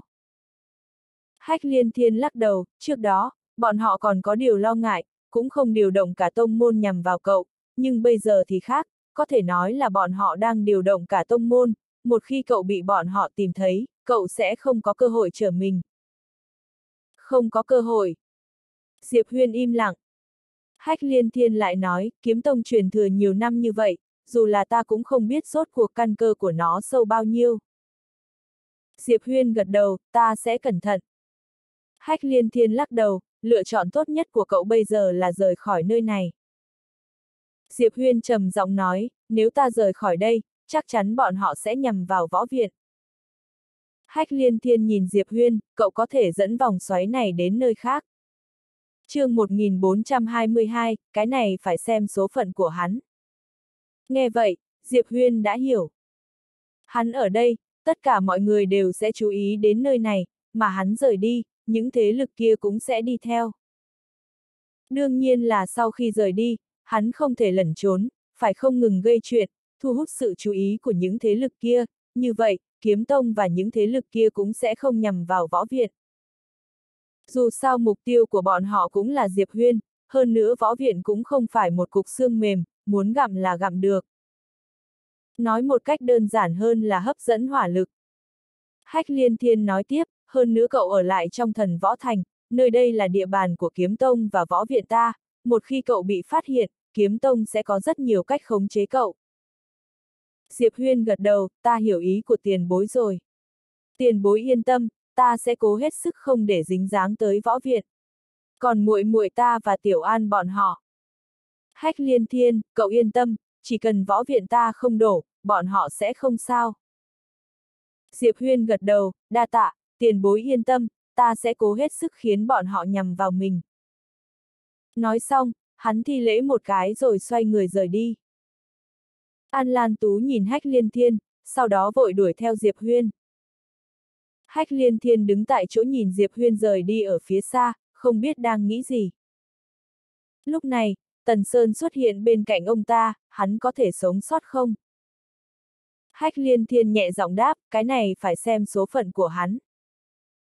Tần Sơn trầm giọng nói, theo điều tra của ta, tình cảm của Diệp Liên và hắn rất sâu nặng. Hách Liên Thiên nói, đừng cho nàng biết chuyện bên ngoài. Tần Sơn gật đầu, đã biết. Hách Liên Thiên nhìn về phía kiếm tông, hơi nghi ngờ, rốt cuộc vì sao kiếm tông này lại đi tìm Diệp Huyên như nổi điên thế. Trước cửa võ viện, An Lan Tú dừng bước, nàng ta xoay người nhìn về một góc nào đó ở sau lưng, ông ấy nói gì với huynh. Một giọng nói vang lên trong bóng tối, yên tâm, ta không sao, bảo vệ mình thật tốt, tin tưởng ta. Nói xong, Diệp Huyên lập tức biến mất. An Lan Tú hơi nhăn mày, sau đó, nàng xoay người nhìn về phía kiếm tông, ánh mắt dần trở nên lạnh như băng. chương 1423, không đi đâu cả. Sau khi rời khỏi võ viện, Diệp Huyên lập tức ra khỏi thành. Định đi đâu? Lúc này, tầng 6 đột nhiên hỏi. Đi đâu? Diệp Huyên ngẩng đầu nhìn chân trời xa xa, hơi mờ mịt, mình có thể đi đâu? Nên đi đâu? Một lát sau, sắc mặt Diệp Huyên dần trở nên lạnh lẽo. Đi đâu? Không đi đâu cả. Diệp Huyên xoay người biến mất. Mà lúc này, kiếm tông của thần Võ Thành đang điên cuồng tìm kiếm Diệp Huyên, có thể nói là càn quét, nhưng Diệp Huyên lại như bốc hơi khỏi nhân gian vậy. Trước cửa võ viện, mấy tia kiếm quang rơi xuống đất, kiếm quang tản đi, Lý Huyền Phong xuất hiện, sau lưng ông ta còn có một ông lão ôm kiếm và một người đàn ông cao to đeo kiếm. Lý Huyền Phong vừa hiện thân, Hách Liên Thiên đã xuất hiện trước mặt ông ta. Khi nhìn thấy Lý Huyền Phong, Hách Liên Thiên lập tức nhíu mày, vì lúc này cả người Lý Huyền Phong khuất trong áo bảo đen, chỉ lộ nửa bên mặt, bên kia bị một cái mặt nạ màu đen che lại. Lý Huyền Phong lạnh lùng nhìn Hách Liên Thiên, Hách Liên Thiên, ta muốn Diệp Liên kia. Hách Liên Thiên cười khẽ, Lý Huyền Phong, ông tưởng đây là võ viện của ông à. Ánh mắt Lý Huyền Phong trở nên hơi dữ tợn, không giao Diệp Liên ra, thì mọi người cùng liều mạng đi. Liều mạng. Hách Liên Thiên cười nhạt, liều mạng, ông tưởng võ viện ta sợ ông à. Dứt lời, Tần Sơn lập tức xuất hiện ở sau lưng Hách Liên Thiên, ngoài Tần Sơn còn có ba ông lão, ba người này đều là cao thủ đạo cảnh. Lý Huyền Phong nhìn chằm chằm Hách Liên Thiên, ông tưởng võ viện của mình có thể bảo vệ được nàng ta sao? Hách Liên Thiên nhìn Lý Huyền Phong, Lý Huyền Phong, chẳng lẽ ông không biết suy nghĩ vì kiếm tông của mình à? Ông còn điên cuồng như thế, kiếm tông của ông sẽ không có kết quả tốt đâu. chương 1424, Sư Tôn, không thể giảng hòa sao? Tuyên chiến. Hách liên thiên đứng tại chỗ, chậm rãi siết chặt tay phải. Kiếm tông tuyên chiến với võ viện. Tin tức này lập tức truyền khắp thần võ thành. Kiếm tông và võ viện có thể nói đã sống với nhau vô sự mấy nghìn năm ở thần võ thành, dù hai bên thỉnh thoảng cũng có mâu thuẫn nhỏ, nhưng chưa từng tuyên chiến chính thức như vậy bao giờ. Hơn nữa người trong thành đều biết thần võ thành có quan hệ không bình thường với tổ sư của kiếm tông. Theo lời tuyên chiến của kiếm tông, cả thần võ thành thoáng chốc trở nên căng thẳng. Vì cả tòa thành là địa bàn của cả võ viện và kiếm tông, một vài thế lực trong thành không phụ thuộc vào kiếm tông thì cũng phụ thuộc vào võ viện, bây giờ kiếm tông tuyên chiến, đương nhiên những thế lực bên dưới cũng sẽ trở thành kẻ thù. Loạn Sau khi kiếm tông tuyên chiến, cả thần võ thành bắt đầu trở nên hỗn loạn.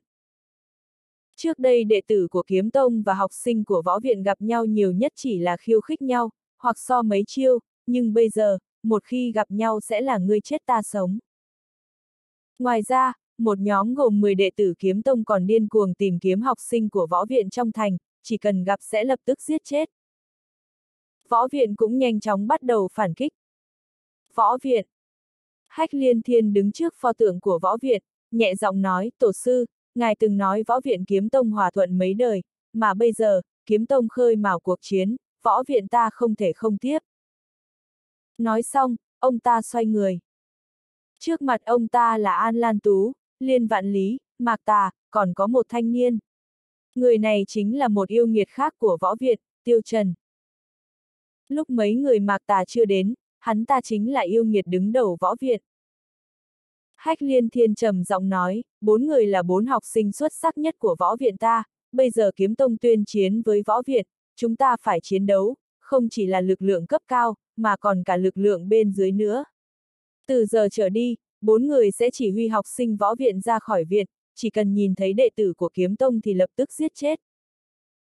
Tiêu Trần ở bên cạnh Mạc Tà đột nhiên hỏi, sư tôn, không thể giảng hòa sao? Chương 1425, Kiếm Tông khai chiến với võ viện. Hách liên thiên nhìn Tiêu Trần, bây giờ Kiếm Tông đã ra tay với chúng ta rồi, chúng ta còn cần nói gì nữa? Võ viện ta không muốn phát động chiến tranh, nhưng trước giờ chúng ta chưa từng sợ chiến tranh, Kiếm Tông bọn họ muốn đánh, thì chúng ta đánh với bọn họ. Tiêu Trần gật đầu, hiểu rồi ạ. À. Mấy người An Lan Tú nhanh chóng xoay người rời đi. Sau khi bốn người An Lan Tú rời đi, Hách Liên Thiên nhẹ giọng nói, ông âm thầm bảo vệ bọn họ trong bóng tối. Dứt lời, có người lặng lẽ lui xuống. Hách Liên Thiên xoay người rời đi. Bên ngoài thần võ thành. Một ông lão áo đen lạnh lùng nhìn về phía thần võ thành, người này chính là ông lão áo đen rời khỏi thần võ thành lúc trước, dạ lan.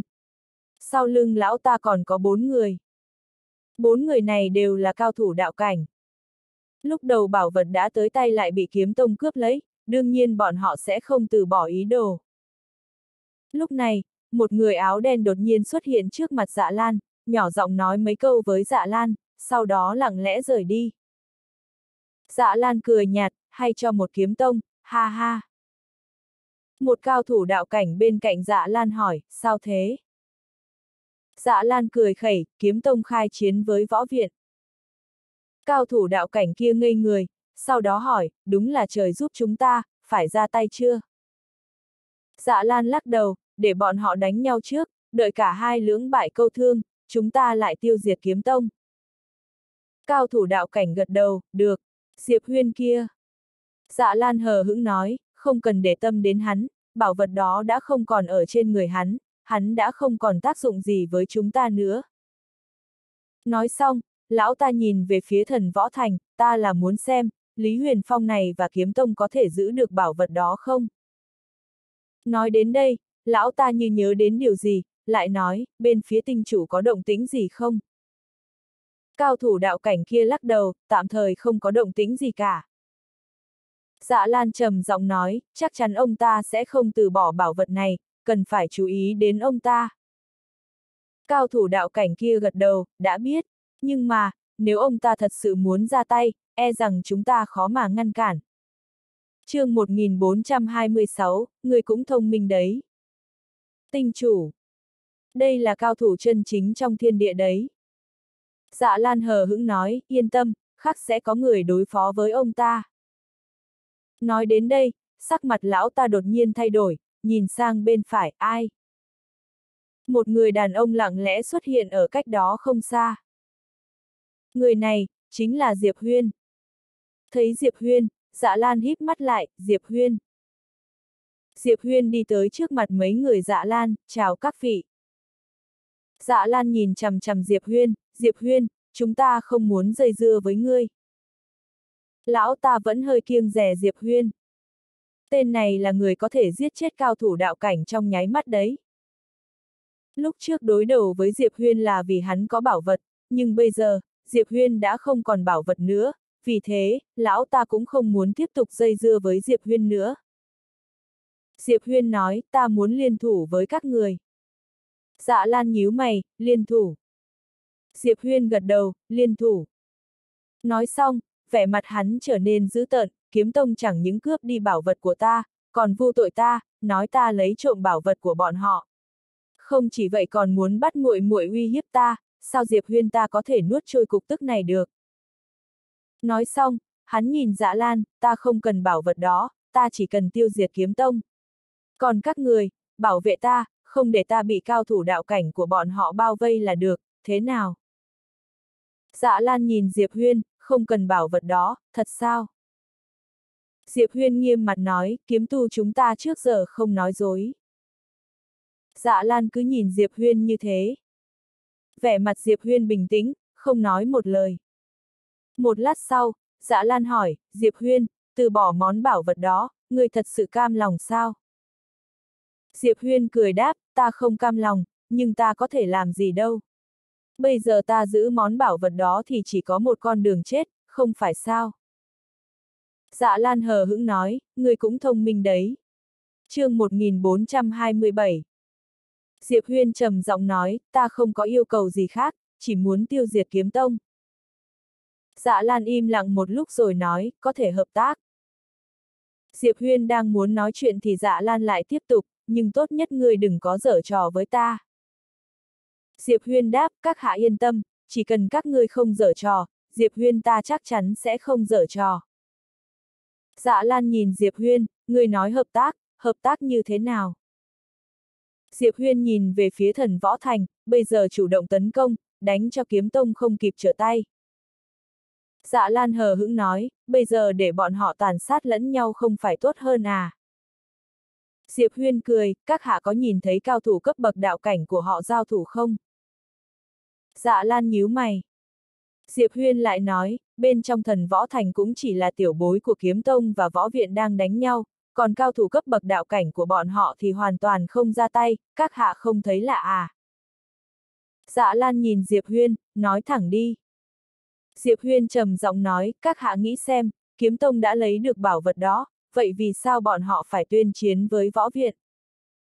Dạ Lan híp mắt lại, ý ngươi là bọn họ có mục đích khác. Chắc chắn là thế. Diệp Huyên đi tới trước mặt dạ Lan, nghiêm túc nói, nếu ta đoán không lầm, bọn họ là đang cố ý diễn kịch cho các người xem. Dạ Lan nhìn chằm chằm về hướng thần võ thành, một lát sau, lão ta hơi híp mắt lại, có lẽ là bọn họ muốn di chuyển bảo vật kia, hoặc là thu phục nó. Diệp Huyên vội nói, đúng, bảo vật đó là thần vật, dù là Lý Huyền Phong cũng không thể thu phục nó trong thời gian ngắn, mà cái bọn họ thiếu bây giờ chính là thời gian.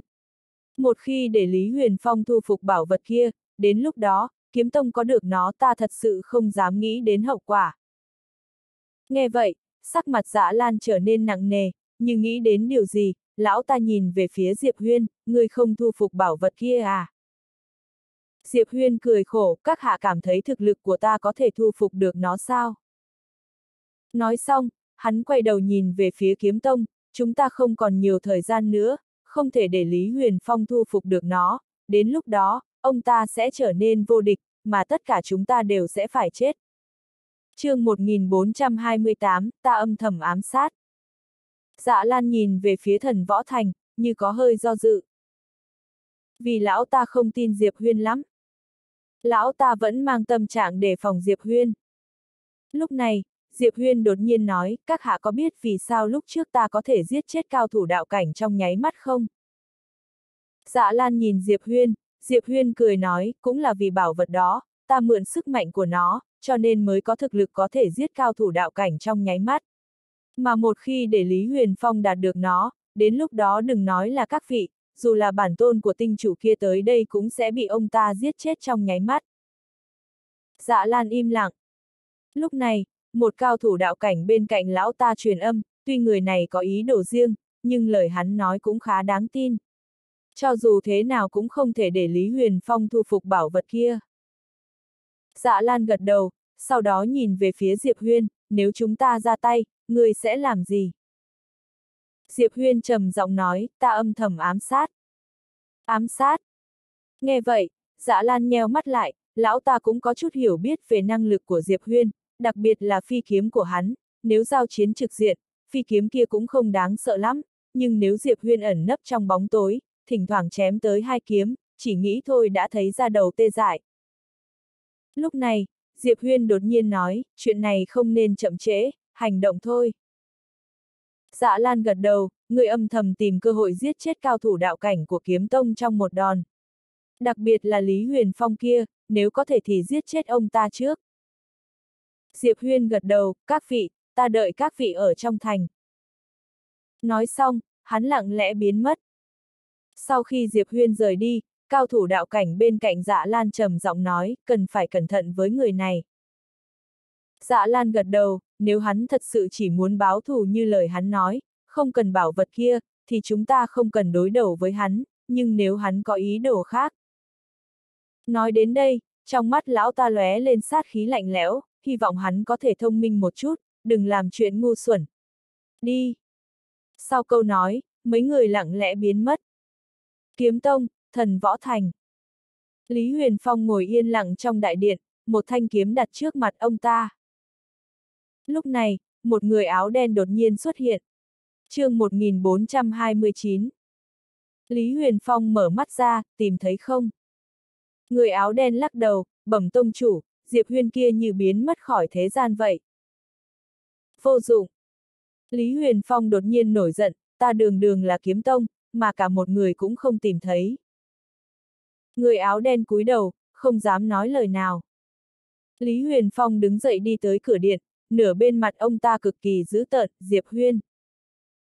Bây giờ ông ta không nghĩ đến món bảo vật kia nữa, ông ta chỉ nghĩ làm sao để giết chết Diệp Huyên thôi. Nửa cơ thể bị phá hủy tạo thành ảnh hưởng rất lớn với ông ta, nếu thân thể này của ông ta không thể hồi phục, cả đời này ông ta cũng không thể tiến thêm một bậc. Lúc này, Lý Huyền Phong ra lệnh, tiếp tục tìm, nhất định phải tìm ra.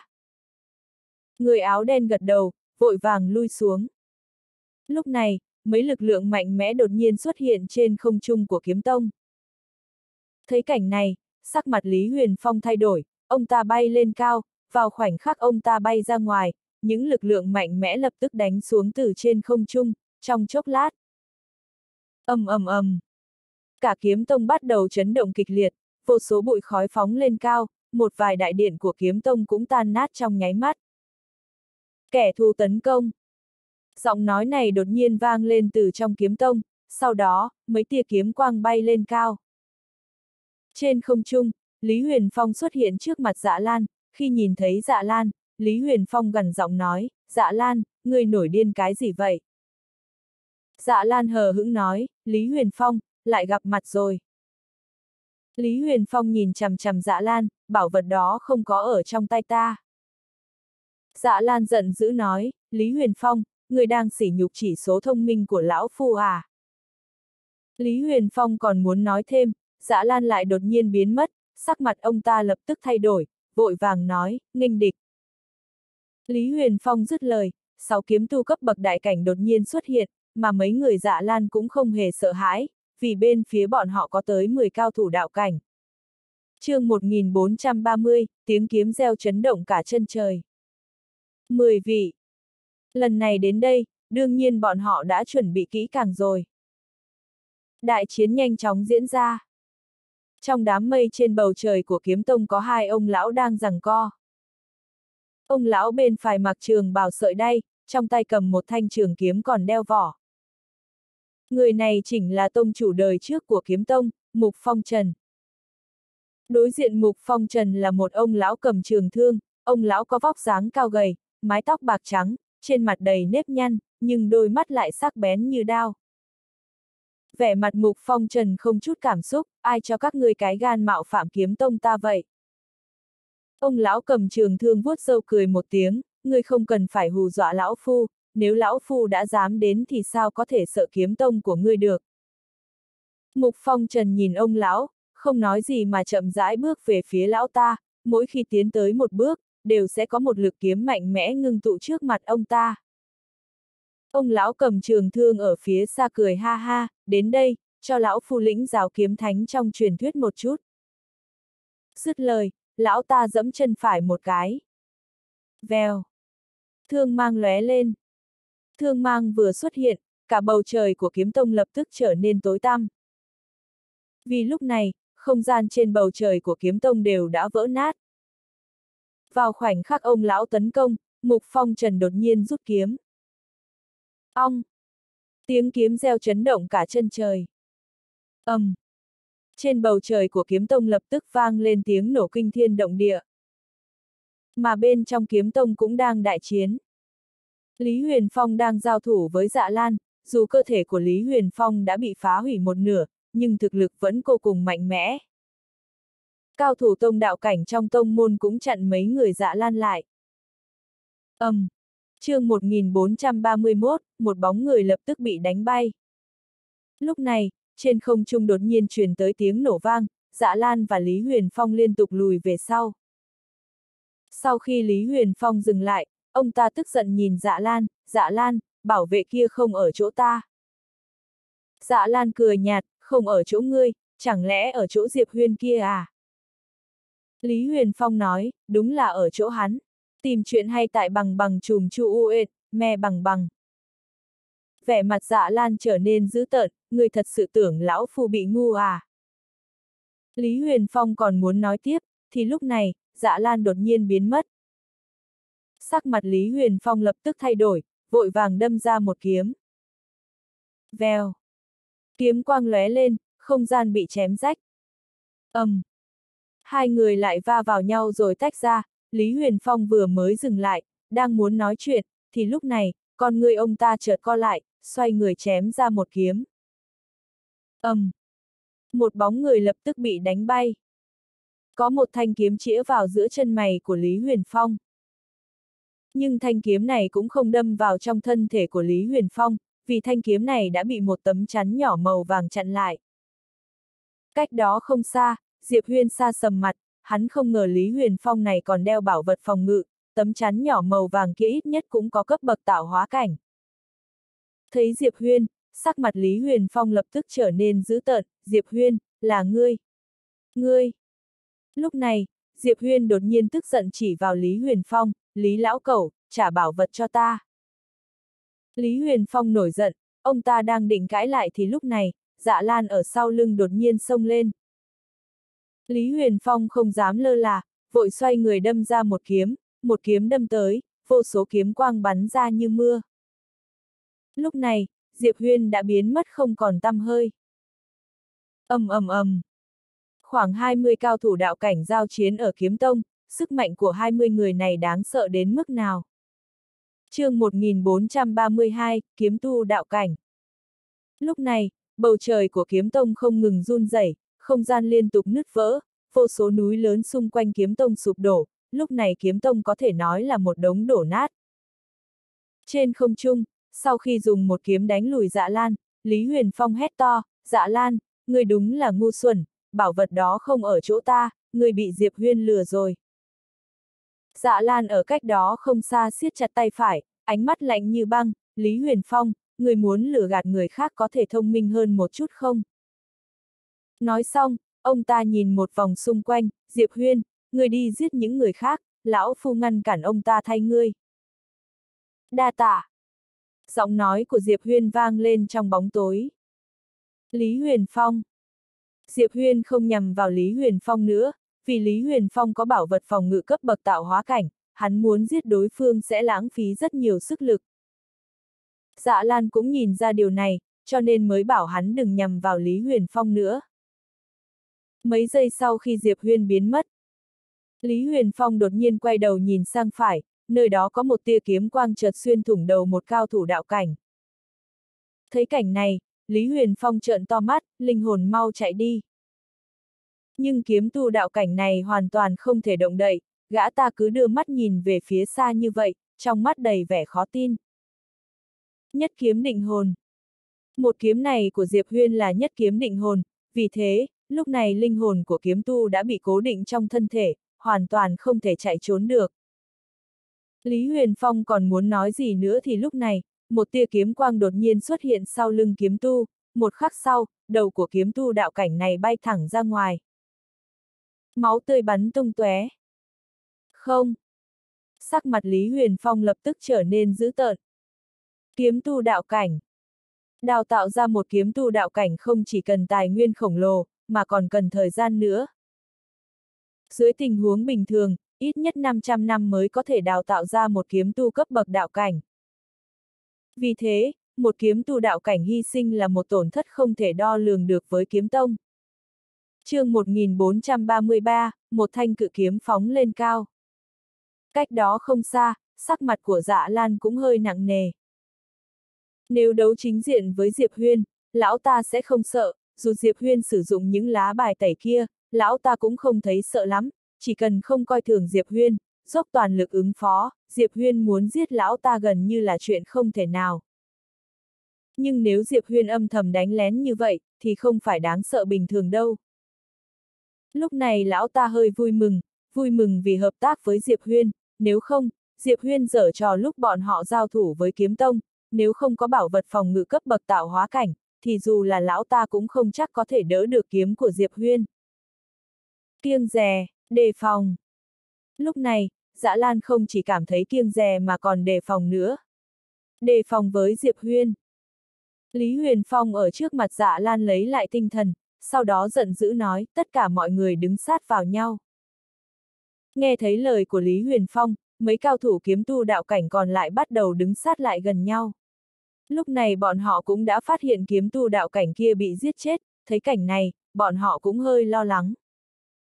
Rốt cuộc Diệp Huyên là kiếm tu hay sát thủ?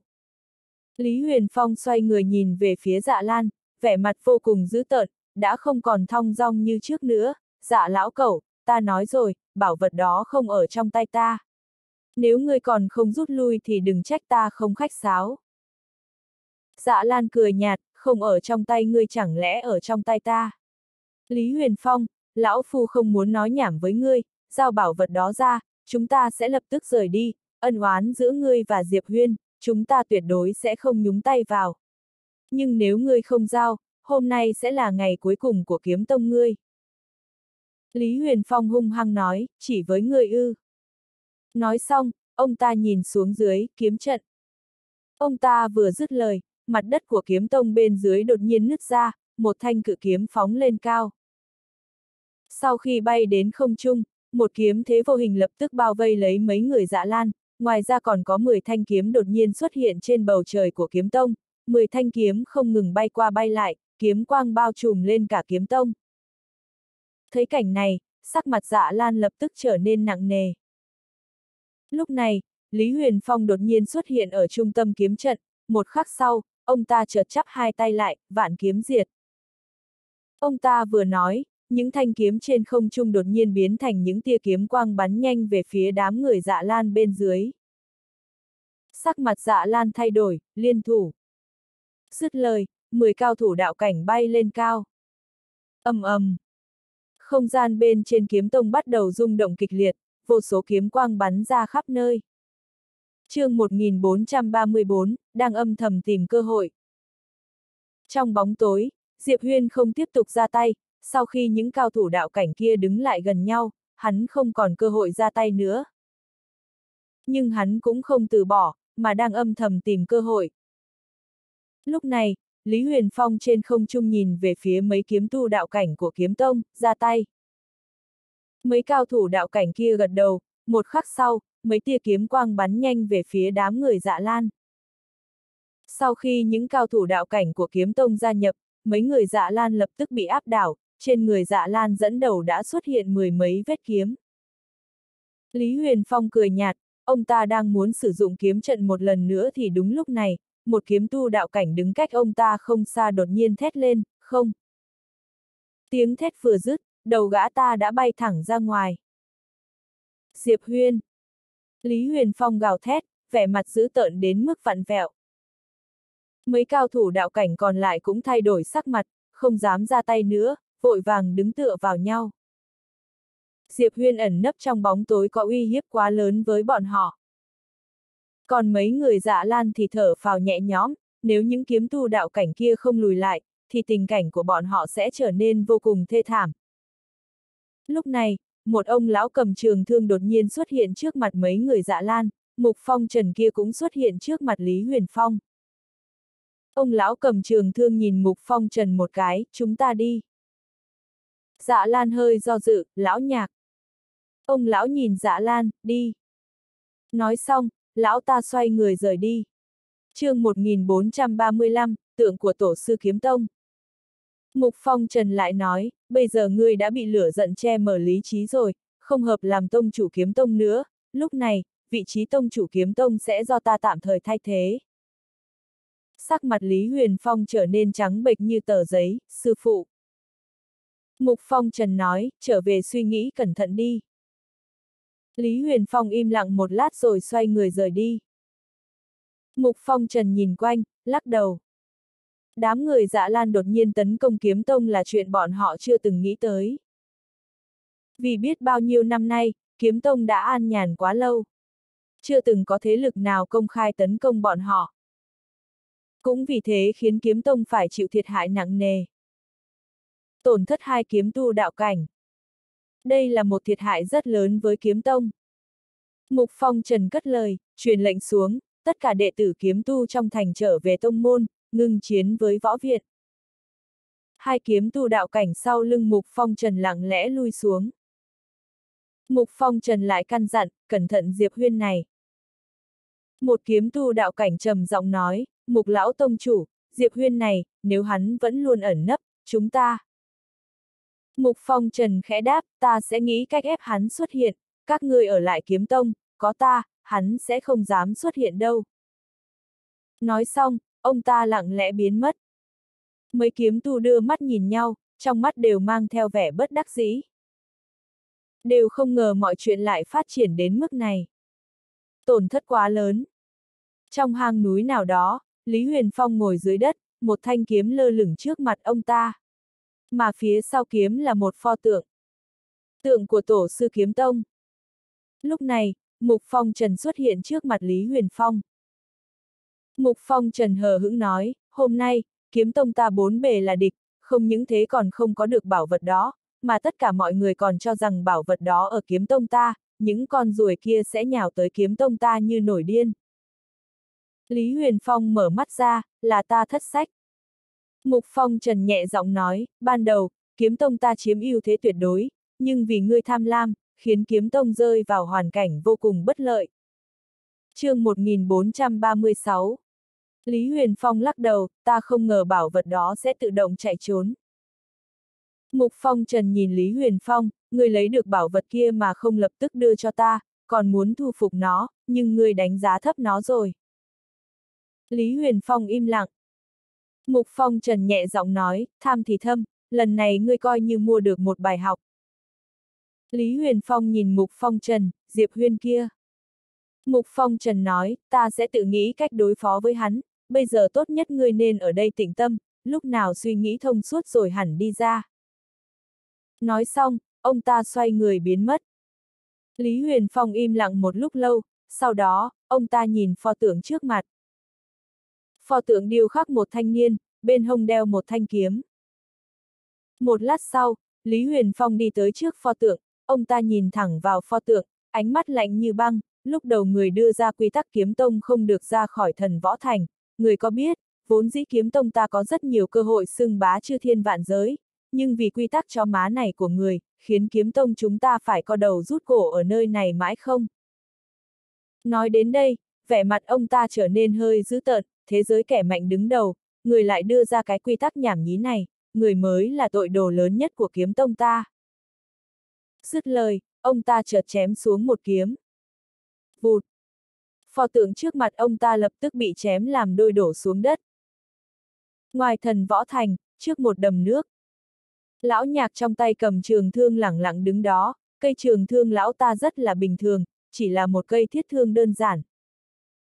Ở bên cạnh cách lão nhạc không xa là dạ lan. Trên người dạ lan lúc này có rất nhiều vết thương do kiếm. Dạ lan trầm giọng nói, chúng ta đã đánh giá thấp kiếm tông rồi. Lão ta cho rằng lần này tấn công quy mô lớn kiếm tông, có sự giúp đỡ của lão nhạc, việc đánh thắng kiếm tông hẳn không phải vấn đề lớn đối với bọn họ. Nhưng mà, lão ta cũng thật không ngờ, chẳng những không đánh bại được kiếm tông, đám người bọn họ còn suýt nữa bị giữ chân ở lại kiếm tông. Nếu không phải nhờ Diệp Huyên, bọn họ ít nhất mất một nửa số người ở lại kiếm tông. Diệp Huyên chương 1437 Nghĩ đến đây, dạ lan nhìn bốn phía, Diệp, Diệp Huyên, người còn ở đó không? Lúc này ở bên phải cách đó không xa, Diệp Huyên lặng lẽ xuất hiện. Mà giờ phút này, sắc mặt Diệp Huyên có hơi tái nhợt. Diệp Huyên nhìn thoáng qua lão nhạc tay cầm trường thương, trong lòng âm thầm đề phòng. Ông lão này tuyệt đối không phải là người hắn hiện tại có thể chống lại được. Lão nhạc cũng nhìn Diệp Huyên, đánh giá hắn một lượt xong, nhẹ giọng nói, người chính là Diệp Huyên. Diệp Huyên gật đầu. Lão nhạc khẽ gật đầu, người rất tốt. Nói xong, hắn lại nhìn đánh giá Diệp Huyên, lão phu có chuyện tò mò, không biết người có thể giải đáp cho lão phu không? Diệp Huyên nói, mời tiền bối nói. Lão nhạc nói, tuy nói vật trong bảng treo thưởng tinh tế đều không đơn giản, nhưng theo lão phu biết, trí bảo trên người ngươi là vật có thể hoàn toàn đè ép những thứ khác trong bảng, mà trí bảo này tại sao lại ở trên người ngươi? Diệp Huyên trầm giọng, ta không biết.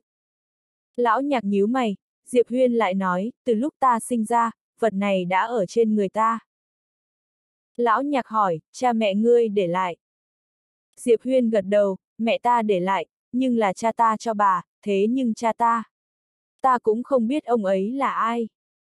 Lão nhạc trầm tư một lát, sau đó nhìn về phía dạ lan, người sau trầm giọng nói, chúng ta vẫn chưa tra ra lai lịch của cha hắn, một chút tư liệu cũng không. Lão nhạc nhìn sang Diệp Huyên, Diệp Huyên nhẹ giọng nói, tiền bối, mặc kệ tháp này đến với ta bằng cách nào, điều này không còn quan trọng nữa, việc cấp bách bây giờ là đoạt lại nó từ tay kiếm tông. Lão nhạc cười nói, vật đó là của ngươi. Diệp Huyên lắc đầu, tiền bối không cần thử ta. Vật ấy ở trên người ta, mang đến cho ta vô vàn tai họa, nếu ta lại không biết tự lượng sức chiếm lấy nó, chẳng khác nào tự tìm cái chết. Nói đến đây, hắn cười chua xót, mặc dù có chút không nỡ nhưng không có cách nào khác, so sánh với bảo vật, mạng sống càng quan trọng hơn, không phải sao. Lão nhạc cười nói, người trẻ tuổi, có thể có giác ngộ như vậy, tốt lắm. Diệp Huyên trầm giọng, thật không dám giấu, hậu bối bây giờ chỉ muốn báo thù. Kiếm Tông không chỉ vu tội che ta, còn muốn ra tay với em gái và bạn của ta, đây là điều hậu bối không thể nhẫn nhịn. chương 1438, thực lực của kiếm tông này. Lão nhạc ngẫm nghĩ, sau đó nói, Mục Phong Trần nói với ta, trí bảo kia không nằm trong tay kiếm tông. Diệp Huyên cười nói, tiền bối tin sao? Lão nhạc nhìn Huyên, cười nói, người tin không? Diệp Huyên lắc đầu cười, nếu ta đoán không sai, bọn họ nhất định nói rằng bảo vật kia còn trên người Diệp Huyên ta, đúng không? Lão nhạc gật đầu, đúng vậy. Diệp Huyên đi đến trước mặt lão nhạc, thực lực của tiền bối hẳn là đã vượt qua đạo cảnh, bây giờ ta ở trước mặt tiền bối, tiền bối có thể lục soát hậu bối, nếu như vật kia thực sự ở trên người hậu bối, ta cam tâm tình nguyện nhận lấy cái chết. Lão nhạc nhìn Diệp Huyên, ngay sau đó, thần thức của lão ta đột nhiên bao phủ lấy Diệp Huyên. Lúc này, Diệp Huyên gần như là trong suốt trước mặt lão nhạc. Mà vật phẩm trong nhẫn chứa đồ trên tay Diệp Huyên đều không hề xuất trong đầu lão nhạc. Một lát sau, lão nhạc thu hồi thần thức, lão ta nhìn Diệp Huyên, cau mày lại. Lúc này, Dã Lan ở bên cạnh trầm giọng nói, lão nhạc, kiếm tông đều là hạng người gian xảo giả dối, lời của bọn họ hoàn toàn không thể tin cậy. Lão nhạc nhìn sang Dạ Lan, Dạ Lan nói, lúc trước khi Diệp Huyên giao trí bảo ra, Lý Huyền Phong kia đã không biết liêm sỉ mà nói trí bảo kia là vật sở hữu của kiếm tông hắn, là Diệp Huyên đánh cắp nó. Đám kiếm tu này, không có một ai đáng tin cậy cả. Lão nhạc trầm mặc. Dạ Lan lại nói, lão nhạc ông nghĩ đi, sau khi trí bảo bị kiếm tông lấy đi, Diệp Huyên làm sao cướp trí bảo từ trong tay kiếm tông nhiều cao như vậy. Lý Huyền Phong và kiếm thánh kia đều là đồ ngốc sao. Nói đến đây, sắc mặt lão ta trở nên u ám, nếu ta đoán không sai thì đây là kế hoãn binh của bọn họ, hy vọng chúng ta chuyển trọng tâm lên người Diệp Huyên, sau đó bọn họ thoải mái thu phục trí bảo kia. Lão nhạc khẽ gật đầu, ta trở về một chuyến, ngươi ở lại đây chờ tin tức của ta, trước khi ta trở về, các ngươi chớ có động thủ. Nói xong, lão ta nhìn Diệp Huyên một cái, sau đó xoay người biến mất ở phía cuối chân trời. Lão nhạc đi rồi, Diệp Huyên trầm giọng nói, chư vị, thực lực của kiếm tông này. Dạ Lan cười lạnh, yên tâm, tuy kiếm tông mạnh, nhưng chúng ta cũng không yếu. Nói xong, lão ta nhìn về phía Diệp Huyên, Lý Huyền Phong kia cùng kiếm tông nhất định sẽ dùng toàn lực điều tra ngươi, tự ngươi nên cẩn thận. chương 1439, liều một phen. Bây giờ lão ta đã coi Diệp Huyên là liên minh. Diệp Huyên gật đầu, ta hiểu. Nói đến đây, hắn do dự một lát, sau đó nói, ta muốn đột phá, không biết các vị có thể hộ pháp cho ta không? Đột phá. Dạ Lan hỏi, đột phá đến vạn pháp. Diệp Huyên gật đầu. Dạ Lan suy nghĩ, sau đó nói, được. Diệp Huyên lớn mạnh có lợi đối với bọn họ. Diệp Huyên gật đầu, sau đó nói, nơi này không an toàn, chúng ta đổi chỗ. Nói xong, hắn xoay người rời đi. Đám người dạ lan cũng đi theo.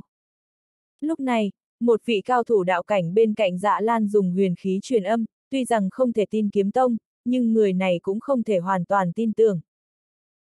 Dạ lan lạnh nhạt nói, dĩ nhiên ta biết, nhưng, bây giờ việc hắn mạnh hơn không có hại gì đối với chúng ta. Hơn nữa, ngày sau có lão nhạc ở đó, hắn cũng không gây được sóng gió gì. Cao thủ đạo cảnh kia nghĩ nghĩ, sau đó lại gật đầu. Đúng thế, bây giờ Diệp Huyên trở nên mạnh hơn không có hại gì cho bọn họ.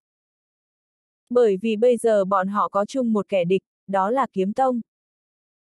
Mà khi có Diệp Huyên gia nhập, bọn họ đối phó với cao thủ đạo cảnh của kiếm tông sẽ dễ dàng hơn nhiều. Đám người Diệp Huyên rất nhanh đã tiến vào trong một dãy núi. Trong dãy núi, Diệp Huyên tìm một chỗ yên tĩnh, còn đám người dạ lan thì ẩn nấp ở bốn phía. Diệp Huyên ngồi xếp bằng trên mặt đất, lúc này, giọng của tầng 6 đột nhiên vang lên, người tin tưởng bọn họ. Diệp Huyên lắc đầu. Hắn dĩ nhiên sẽ không hoàn toàn tin tưởng đám người dạ lan, nhưng hắn không có cách nào khác, nếu như bây giờ hắn không thăng cấp thì trong thời gian tới, hắn không có thời gian để thăng cấp, mà theo tình hình, hắn lại không thể không thăng cấp. Bởi vì thực lực hiện tại của hắn vẫn không đủ. Liều một phen. Một khi tiến vào vạn pháp cảnh, thực lực của hắn nhất định có thể tiến bộ nhanh chóng.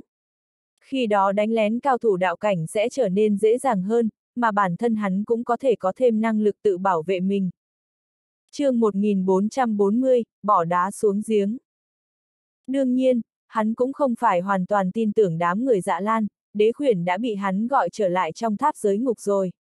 Ngoài ra, Tiểu Linh Nhi cũng ôm kiếm trên đỉnh tháp, luôn trong trạng thái đợi lệnh. Đây là đề xuất của đế khuyển dành cho hắn. Bởi vì thực ra Tiểu Linh Nhi ôm kiếm có sức chiến đấu vô cùng kinh khủng. Diệp Huyên thu hồi suy nghĩ, tĩnh khí ngưng thần. Một lát sau, Diệp Huyên lấy ra một cây kiếm cấp tiên khí đâm mạnh vào vùng bụng mình. ầm, um. Một lực lượng hùng mạnh phát ra từ trong cơ thể Diệp Huyên, rất nhanh, Diệp Huyên bắt đầu điên cuồng hấp thu lực lượng này. Trong bóng tối, dạ lan lẳng lặng nhìn Diệp Huyên phía dưới, không biết suy nghĩ cái gì. Bên cạnh dạ lan, một vị cao thủ đạo cảnh đột nhiên dùng huyền khí truyền âm, nếu như bây giờ ra tay. Dạ lan lạnh nhạt nói, ngươi cho là hắn sẽ thật sự tin tưởng chúng ta như vậy sao? Nếu ta đoán không sai, hắn dám thăng cấp ngay trước mặt chúng ta thì nhất định đã có chuẩn bị. Nếu chúng ta ra tay, một khi cùng chết với hắn, người vui vẻ nhất chính là kiếm tông. Nói xong, lão ta thu hồi ánh mắt, xoay người nhìn về hướng kiếm tông, hiện giờ kiếm tông mới là kẻ địch lớn nhất của chúng ta. Cao thủ đạo cảnh kia gật đầu, mục đích bọn họ tới đây là vì trí bảo kia. Cứ như vậy, Diệp Huyên ở phía dưới bắt đầu điên cuồng hấp thu, mà khí xung quanh hắn cũng càng ngày càng mạnh, nhưng mà cũng may đám người dạ lan đã thi triển cấm thuật bốn phía quanh hắn, bởi vậy, khí của hắn cũng không có phát tán ra ngoài. Mà đám dạ lan vì tránh phiền toái không cần thiết, cũng ẩn nấp đi. Võ viện Hách liên thiên ngồi ở trong đại điện, trong đây đều là cao thủ của võ viện, ước chừng có 6 vị đạo cảnh. Ngoài ra, An Lan Tú và Mạc Tà hòn có liên vạn lý, cùng với Tiêu Trần cũng ở đây. Hách liên thiên liền nói, các ngươi hẳn cũng đã nghe nói về chuyện của kiếm tông rồi. Phía dưới, một người đàn ông trung niên đi ra, hiện giờ kiếm tông tổn thương nghiêm trọng, ta cảm thấy, chúng ta nên nhân cơ hội bỏ đá xuống giếng. Bỏ đá xuống giếng. chương 1441, cắn nuốt kiếm. Mọi người nhìn người đàn ông trung niên, ông ta lạnh nhạt nói, kiếm tông bất nhân, chúng ta cần gì phải nói đạo nghĩa với bọn họ. Một ông lão gật đầu, đúng vậy, lần này kiếm tông tuyên chiến với võ viện ta, đã thể hiện rõ dã tâm của bọn họ, tại thời điểm như này, võ viện ta dĩ nhiên không thể nói đạo nghĩa với bọn họ. Hách liên thiên nhìn sang bốn người đám mạc tà ở bên dưới, các ngươi thấy thế nào?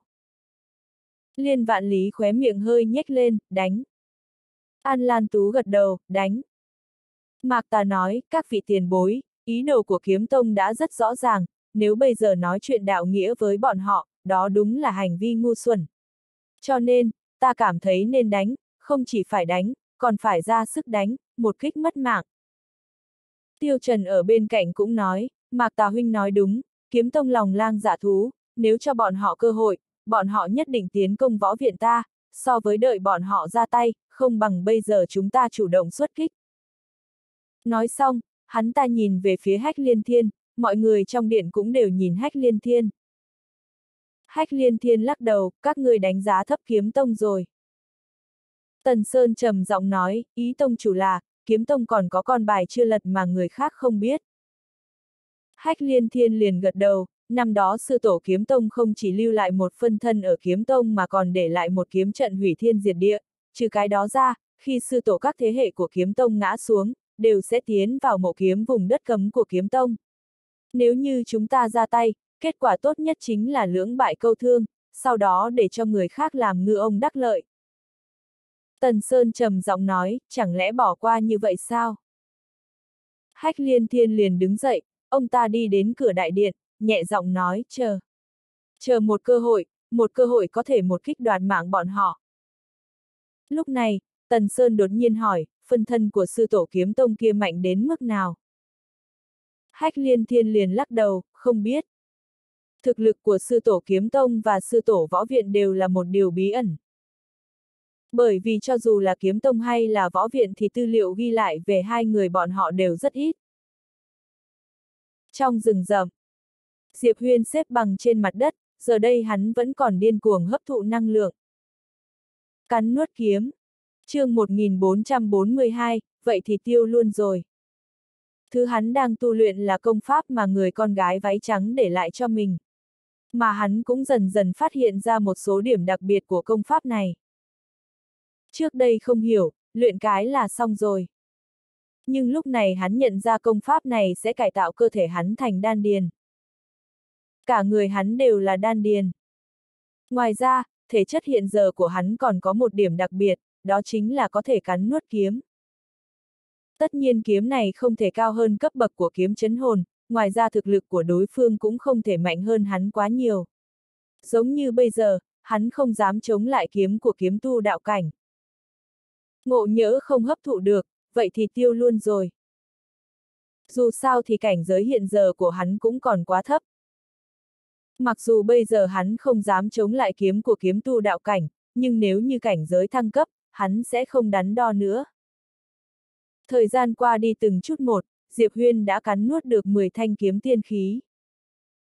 Mà giây phút này, khí thức của hắn cũng mạnh hơn trước đây ít nhất là hơn mấy lần.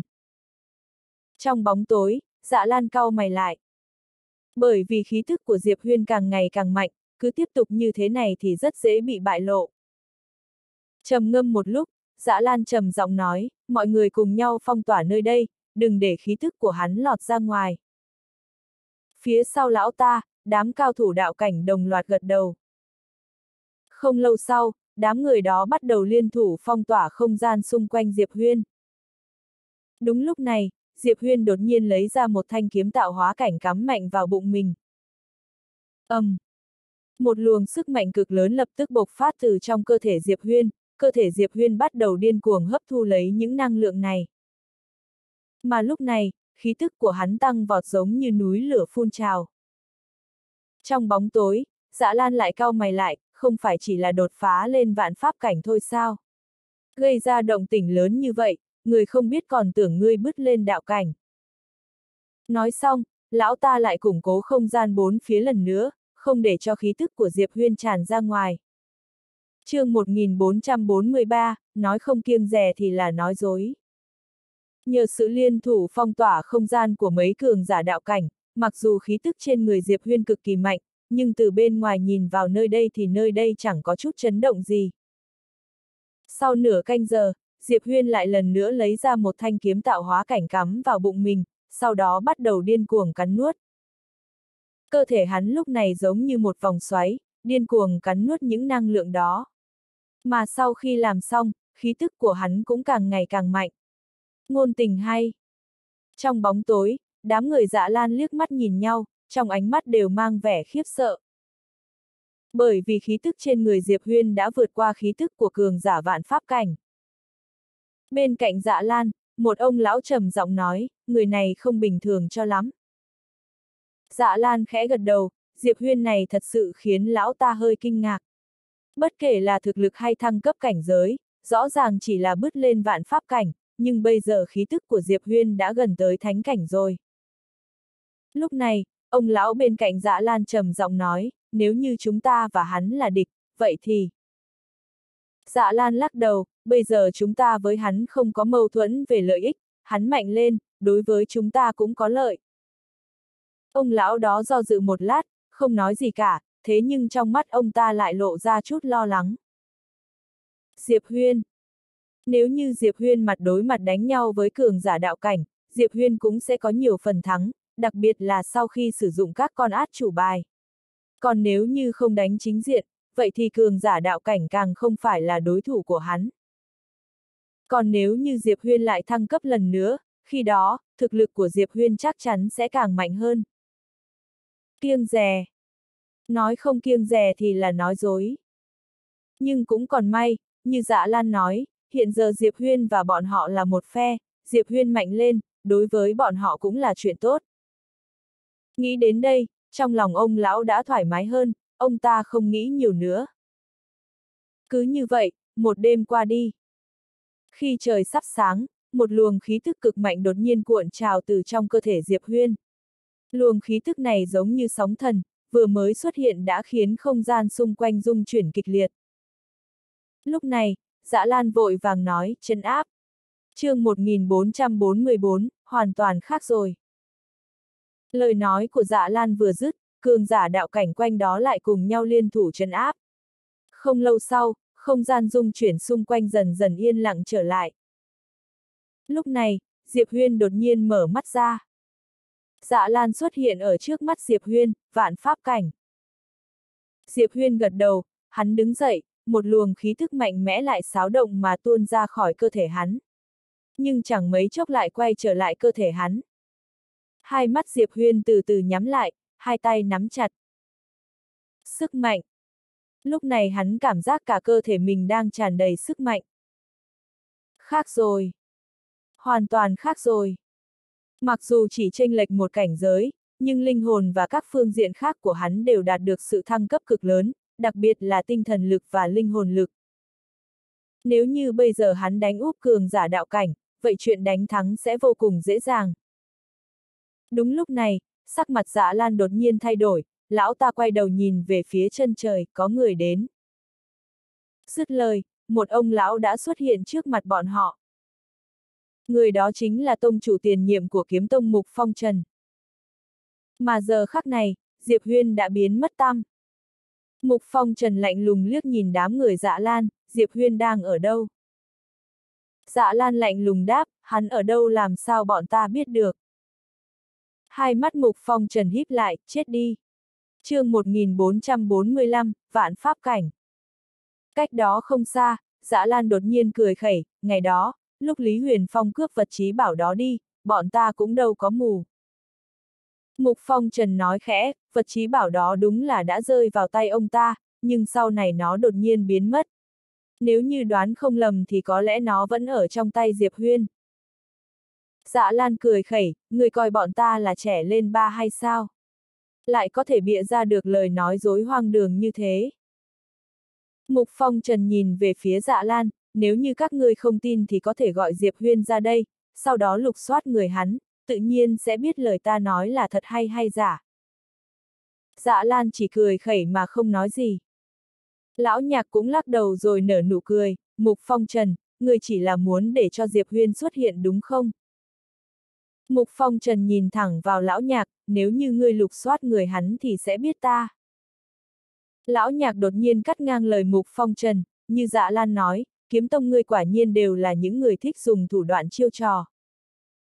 Mục Phong Trần híp hai mắt lại, ý ngươi là gì? Lão nhạc khẽ nói, trước đây ta đã từng lục soát người hắn. Nhưng không hề có vật trí bảo đó. Nghe thấy vậy, Mục Phong Trần chợt cau mày lại, ngay sau đó, ông ta cười khẩy, Diệp Huyên, người giỏi lắm, thật sự rất giỏi. Nói xong, ông ta nhìn lão nhạc, nếu các ngươi đã không tin, vậy các ngươi có bản lĩnh gì thì lôi ra đây, kiếm tông ta nghênh tiếp. Nói xong, ông ta xoay người biến mất ở tận cuối chân trời. Sau khi Mục Phong Trần rời đi thì Diệp Huyên đi ra. Lão nhạc nhìn Diệp Huyên, vạn pháp cảnh. Diệp Huyên gật đầu, vừa đột phá. Lão nhạc khẽ gật đầu, có lẽ kiếm tông này căm hận ngươi đến tận xương thủy, tốt nhất ngươi đừng kiêu căng quá mức, nếu không thì sẽ bị Mục Phong Trần bắt lại, đến lúc đó ngươi không còn bất cứ cơ hội sống sót nào đâu. Mục Phong Trần Diệp Huyên gật đầu. Mặc dù bây giờ hắn đã đột phá, nhưng hắn biết rõ nếu như đối đầu với cường giả cấp bậc ngang với Mục Phong Trần và Lão Nhạc, hắn sẽ không có bất cứ phần thắng nào. Lão Nhạc nhìn về phía kiếm tông, lão ta nhẹ giọng nói, xem ra kiếm tông thật sự định bất chấp tất cả để chiếm lấy vật trí bảo đó rồi. Dạ lan lạnh lùng nói, chỉ sợ bụng dạ nhỏ, nuốt không trôi. Lão nhạc lắc đầu, kiếm tông này không phải bình thường, không thể xem thường được. chương 1446, quân cứu viện. Diệp Huyên nhìn lão nhạc, kiếm tông này vẫn còn con át chủ bài gì sao? Lão nhạc gật đầu, bọn họ có thể truyền thừa qua nhiều năm như vậy, tất nhiên là có con át chủ bài. Nghe đồn năm đó ông Tổ Kiếm Tông đã để lại một phần phân thân ở trong Kiếm Tông, phần phân thân này. Rất mạnh, Diệp Huyên hỏi. Lão nhạc lắc đầu, thực lực thì không biết, nhưng chắc chắc không yếu. Những nhân vật như vậy đều là tuyệt đại thiên kiêu, cho dù chỉ là một phần phân thân thì có lẽ cũng cực mạnh. Ngoài ra, bên trong kiếm tông còn có một kiếm trận mà ông ta để lại, nghe đồn sức sát thương của kiếm trận này cực lớn, cho dù là cường giả trên đạo cảnh cũng dễ dàng bị giết chết. Cho dù có nghi ngờ là nói quá lên, nhưng chắc chắn không thể yếu được. Nói đến đây, lão ta hơi dừng lại một chút rồi lại nói tiếp, ngoài phần phân thân của ông Tổ Kiếm Tông và Kiếm Trận ra, Kiếm Tông truyền thừa phát triển nhiều năm như vậy, chắc chắn còn có một số con át chủ bài khác. Nếu không thì bọn họ cũng sẽ không tồn tại nhiều năm như vậy. Diệp Huyên lại vội vàng hỏi, vậy chúng ta thì sao?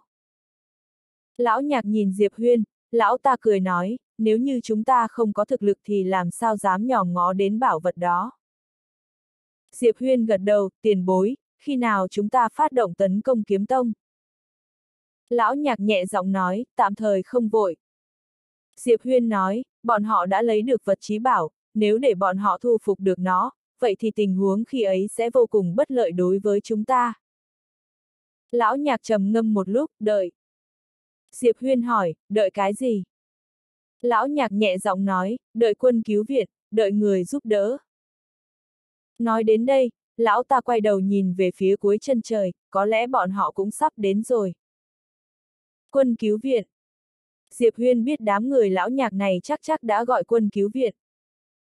Nhưng cũng là chuyện bình thường, dựa vào đội hình hiện nay của bọn họ, chắc chắn không thể nào tiêu diệt được kiếm tông. Không nghĩ ngợi gì nữa, Diệp Huyên nói các vị tiền bối, ta có chút chuyện phải xử lý, nếu như có chuyện xảy ra, ta sẽ chủ động liên hệ với các vị. Lão nhạc nhìn Diệp Huyên, ngươi nhớ cẩn thận, đừng để Mục Phong Trần tìm được ngươi. Nói đến đây, lão ta do dự một lúc rồi bấm tay một cái, một lá bùa chú xuất hiện trước mặt Diệp Huyên. Diệp Huyên không hiểu lắm, đây là chương 1447, hai bên vừa là hợp tác, vừa là lợi dụng lẫn nhau.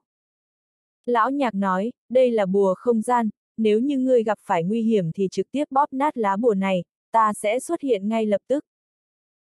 Diệp Huyên ngây cả người, sau đó vội vàng nói, cảm ơn ông nhiều. Không thể không nói, chuyện này khiến cho hắn có chút ngạc nhiên. Lão nhạc khẽ gật đầu, đi đi. Diệp Huyên cung tay làm lễ, sau đó xoay người rời đi. Sau khi Diệp Huyên đi, Dạ Lan bỗng nhiên nói, lão nhạc, người muốn chiêu mộ người này sao? Lão nhạc nhẹ giọng nói, người này có tài năng thiên phú, bản tính kiêu ngạo, hắn sẽ không cam tâm tình nguyện phùng tùng người khác. Với lại cũng cần phải phòng bị người này. Dạ Lan hơi khó hiểu, vậy lão nhạc. Lão nhạc khẽ nói, có thể lợi dụng. Lợi dụng. Dạ Lan hiểu rồi. Diệp Huyên có tài năng thiên phú, sức chiến đấu lại mạnh, loại người như thế này chắc chắn sẽ không cam lòng phục tùng bọn họ. Hơn nữa, vật trí bảo đó vẫn là của Diệp Huyên, nếu như bọn họ có được, lúc ấy Diệp Huyên khó tránh khỏi không có ý nghĩ khác. Mà bây giờ mối quan hệ của bọn họ và Diệp Huyên là lợi dụng. Hai bên vừa là hợp tác, vừa là lợi dụng lẫn nhau. Lão nhạc đột nhiên nói, trước khi bọn họ tới, các ngươi đừng tự ý hành động. Nói xong, lão ta xoay người biến mất tại chỗ. Sau khi Diệp Huyên tới võ viện thì âm thầm tìm được An Lan Tú, Liên Vạn Lý và Mạc Tà. Trong sân, bốn người ngồi vây quanh một các bàn.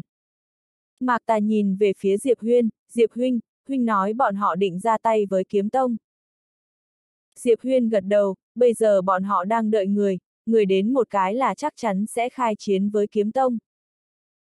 Nói đến đây, hắn hơi ngừng lại một lúc rồi nói, nhưng theo ta thấy, dường như kiếm tông này có chỗ dựa. Vì vậy, sợ là sự việc không đơn giản như thế. Mạc ta gật đầu, võ viện cũng chuẩn bị động thủ với kiếm tông, nhưng bây giờ viện trưởng cũng có chút lo ngại. chương 1448, tất nhiên là hắn nhớ. Bây giờ điều hắn lo lắng nhất chính là sợ kiếm tông nhắm vào ba người liên vạn lý. An Lan Tú nhìn Diệp Huyên, huynh thì sao? Định thế nào? Diệp Huyên trầm giọng nói, diệt kiếm tông. Diệt kiếm tông. Đây là ý nghĩ hiện giờ của hắn, bởi vì Mục Phong Trần và Lý Huyền Phong của kiếm tông là hai người duy nhất biết tháp giới ngục vẫn ở trong tay hắn. Bởi vậy, hai người này chắc chắn sẽ không buông tha cho hắn. Hắn không diệt đối phương, đối phương sẽ diệt hắn. Mạc Tà bỗng nói, Diệp Huynh, nếu như cần gì thì cứ thông báo cho ta bất cứ lúc nào. Diệp Huyên cười nói, được. Mạc Tà khẽ gật đầu, mọi người nói chuyện, ta đi tu luyện đã. Nói xong, hắn ta cũng xoay người rời đi. Sau khi Mạc Tà rời đi, Liên Vạn Lý bỗng nói, ta đi thông báo với bọn tiểu cửu một tiếng. Nói xong, nàng ta cũng xoay người rời đi. Nhưng khi hắn đi đến cổng sân, hắn ta chợt dừng lại, sau đó quay người nhìn về phía An Lan Tú và Diệp Huyên, ta đi rồi, hai người sẽ không làm chuyện đặc biệt gì đó chứ. Diệp Huyên. Liên vạn lý cất tiếng cười lớn rồi đi khỏi đó. Diệp Huyên lắc đầu, người con gái này. An Lan Tú đột nhiên nói, đi thôi. Diệp Huyên gật đầu. Hai người đi đến ngọn núi phía sau võ viện. Diệp Huyên cũng không ẩn núp. Bây giờ võ viện đang có vấn đề với kiếm tông, hắn không tin kiếm tông sẽ như phát điên mà đến võ viện xử hắn. An Lan Tú chợt nói khẽ, huynh còn nhớ Thanh Châu không? Diệp Huyên gật đầu. Tất nhiên là hắn nhớ. Không chỉ nhớ Thanh Châu, hắn còn nhớ Thanh Thành, còn nhớ Diệp Gia, còn nhớ Khương Quốc, tất nhiên cũng nhớ một người tên An Lan Tú mặc trang phục trắng như tuyết năm đó. Lúc đó, An Lan Tú còn là An Quốc sĩ. Còn hắn vẫn là một thiếu niên tràn đầy mờ mịt về tương lai.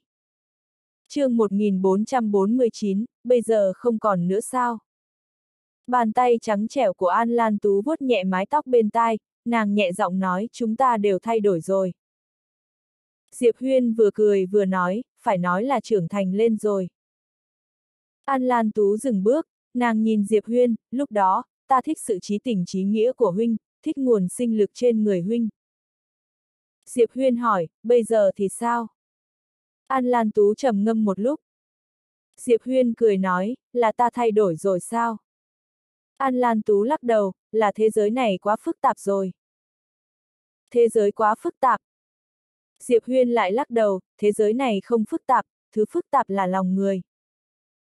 Nói xong, hắn nhìn về phía An Lan Tú, ở trong tim ta, nàng mãi mãi là người con gái An Lan Tú mặc y phục trắng như tuyết đó. An Lan Tú nhẹ giọng nói, lúc ở Thanh Châu, khi đó huynh còn chiến đấu vì quốc gia của mình. Trong tim huynh không chỉ có tình cảm riêng tư mà còn có tình cảm vĩ đại. Diệp Huyên cười nói, bây giờ không còn nữa sao? An Lan Tú gật đầu.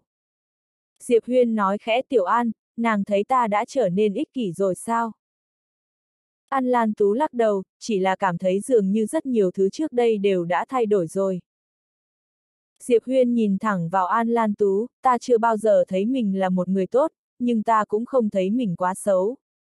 Nếu như ta của bây giờ khiến nàng thất vọng, ta rất xin lỗi, nhưng ta sẽ không thay đổi, bởi vì đây chính là ta, ta chính là ta. Nói xong, hắn quay người rời đi.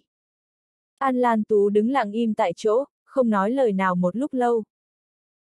Lúc này, Liên Vạn Lý xuất hiện trước mặt An Lan Tú.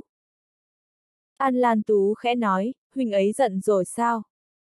Liên Vạn Lý hỏi, người để ý hắn có tức giận hay không sao? An Lan Tú gật đầu. Liên Vạn Lý nói, Ngươi cũng không phải không thích hắn của hiện tại, chỉ là ngươi sợ hắn sẽ thay đổi, thay đổi đến mức ngay cả ngươi cũng không nhận ra. An Lan Tú gật đầu. Liên Vạn Lý lại hỏi, vậy ngươi cảm thấy hắn thay đổi chỗ nào rồi? chương 1450, đúng là không phải chuyện tốt đẹp gì. An Lan Tú nhẹ giọng nói, không thể nói rõ được, chỉ là cảm thấy có gì đó không giống như trước đây nữa rồi. Liên vạn lý lắc đầu, như những gì hắn nói, là hai người đều trưởng thành rồi. Người tự hỏi trong thâm tâm mình xem, người ghét hắn lúc này sao?